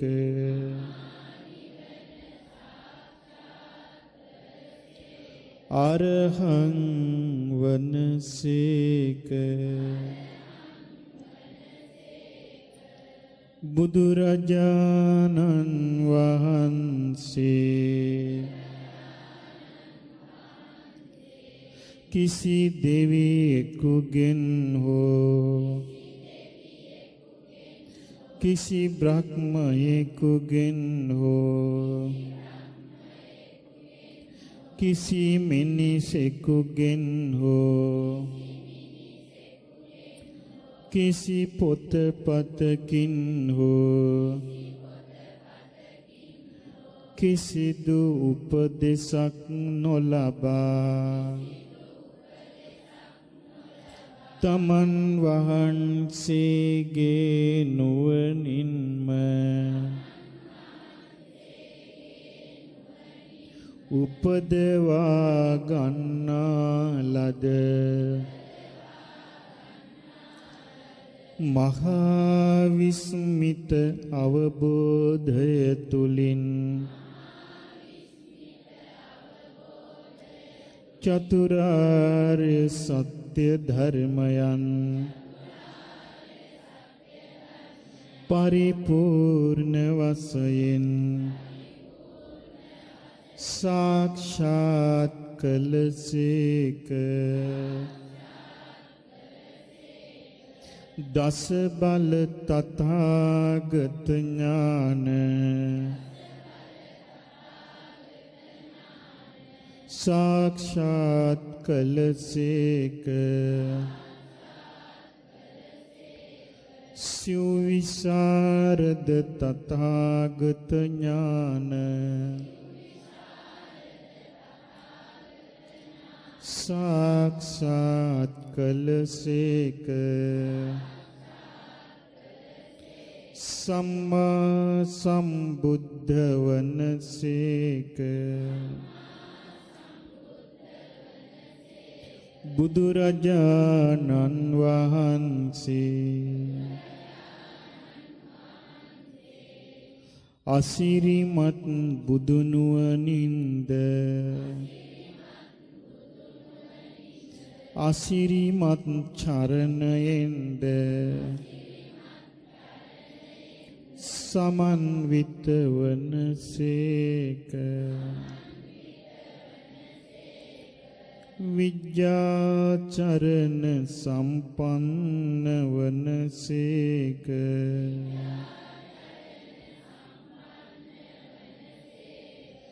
බුදුරජාණන් වහන්සේ සුන්දර නිවන් මග අවබෝධ කරගෙන ඒ සුන්දර නිවන් මගෙහි. මනවින් ගමන් කොට සුන්දර නිවනට පැමිණිසේක සුගත වනසේක බුදුරජාණන් වහන්සේ. සියලු බ්‍රහ්ම ලෝකද සියලු දිව්‍ය ලෝකද මේ මිනිස් ලෝකයද සතර අපාය ආදී. මේ සියලු ලෝකයන් අවබෝධ කරගෙන මේ සියලු ලෝකවලින් නිදහස් වූසේක ලෝකවිදුවනසේක.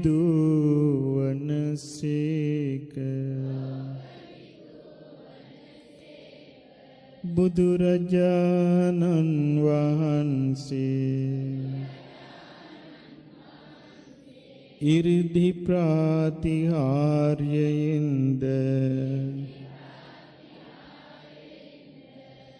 ආදේශනා ප්‍රාතිහාර්යයෙන්ද?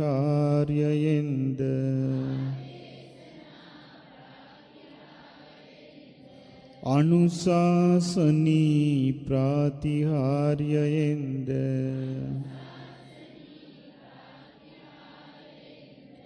ලෝ සතුන් දමනය කොට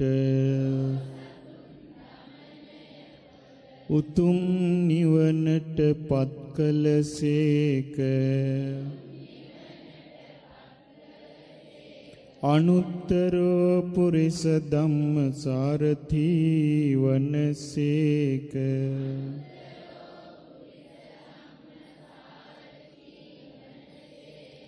බුදුරජාණන් වහන්සේ නුවණැති දෙවියන්ගේද? නුවණැති මිනිසුන්ගේද? එකම ශාස්ත්‍රූන් වහන්සේ වනසේක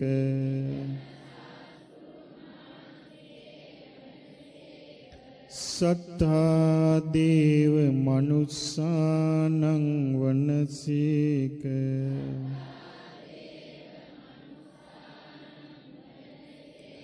බුදුරජාණන් වහන්සේ අවබෝධ කරන ලද චතුරාර්ය සත්‍ය ධර්මය අන්‍යන්ටද පැහැදිලි වචන වලින් පැහැදිලි අර්ථ වලින් මනා වචන හැසිරීම තුලින් මනා ප්‍රකාශන තුලින්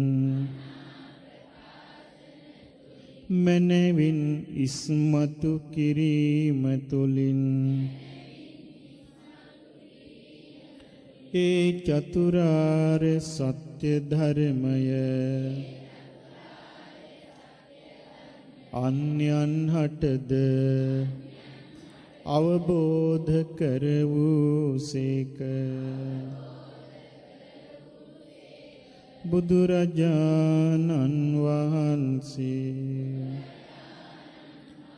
බුද්ධ වනසේක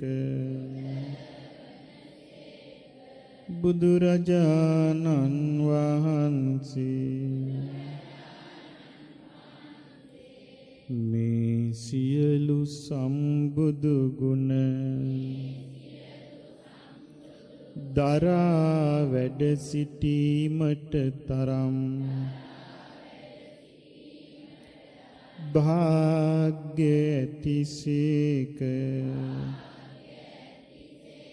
බුදුරජාණන් වහන්සේ. අසිරිමත් බුදුනුවන මහා විස්මිත අවබෝධය. මහා ගම්භීර ප්‍රඥාව.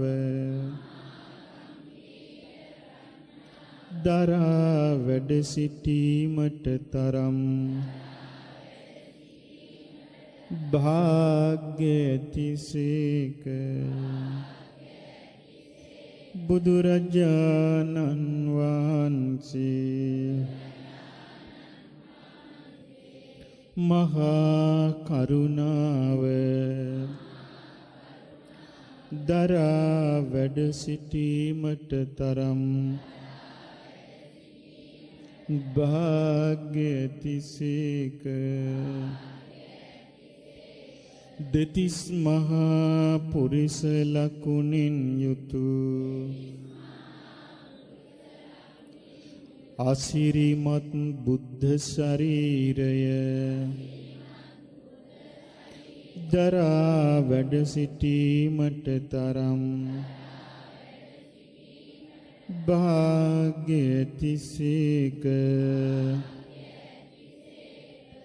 බ්‍රහ්මස්වරයෙන් යුතු මధుර මනෝහර වූ අතිමිහිරි ස්වරයකින් දහම් දෙසීමට තරම් භාග්‍යතිසේක. බුදුරජාණන් වහන්සේ භගවාවනසේක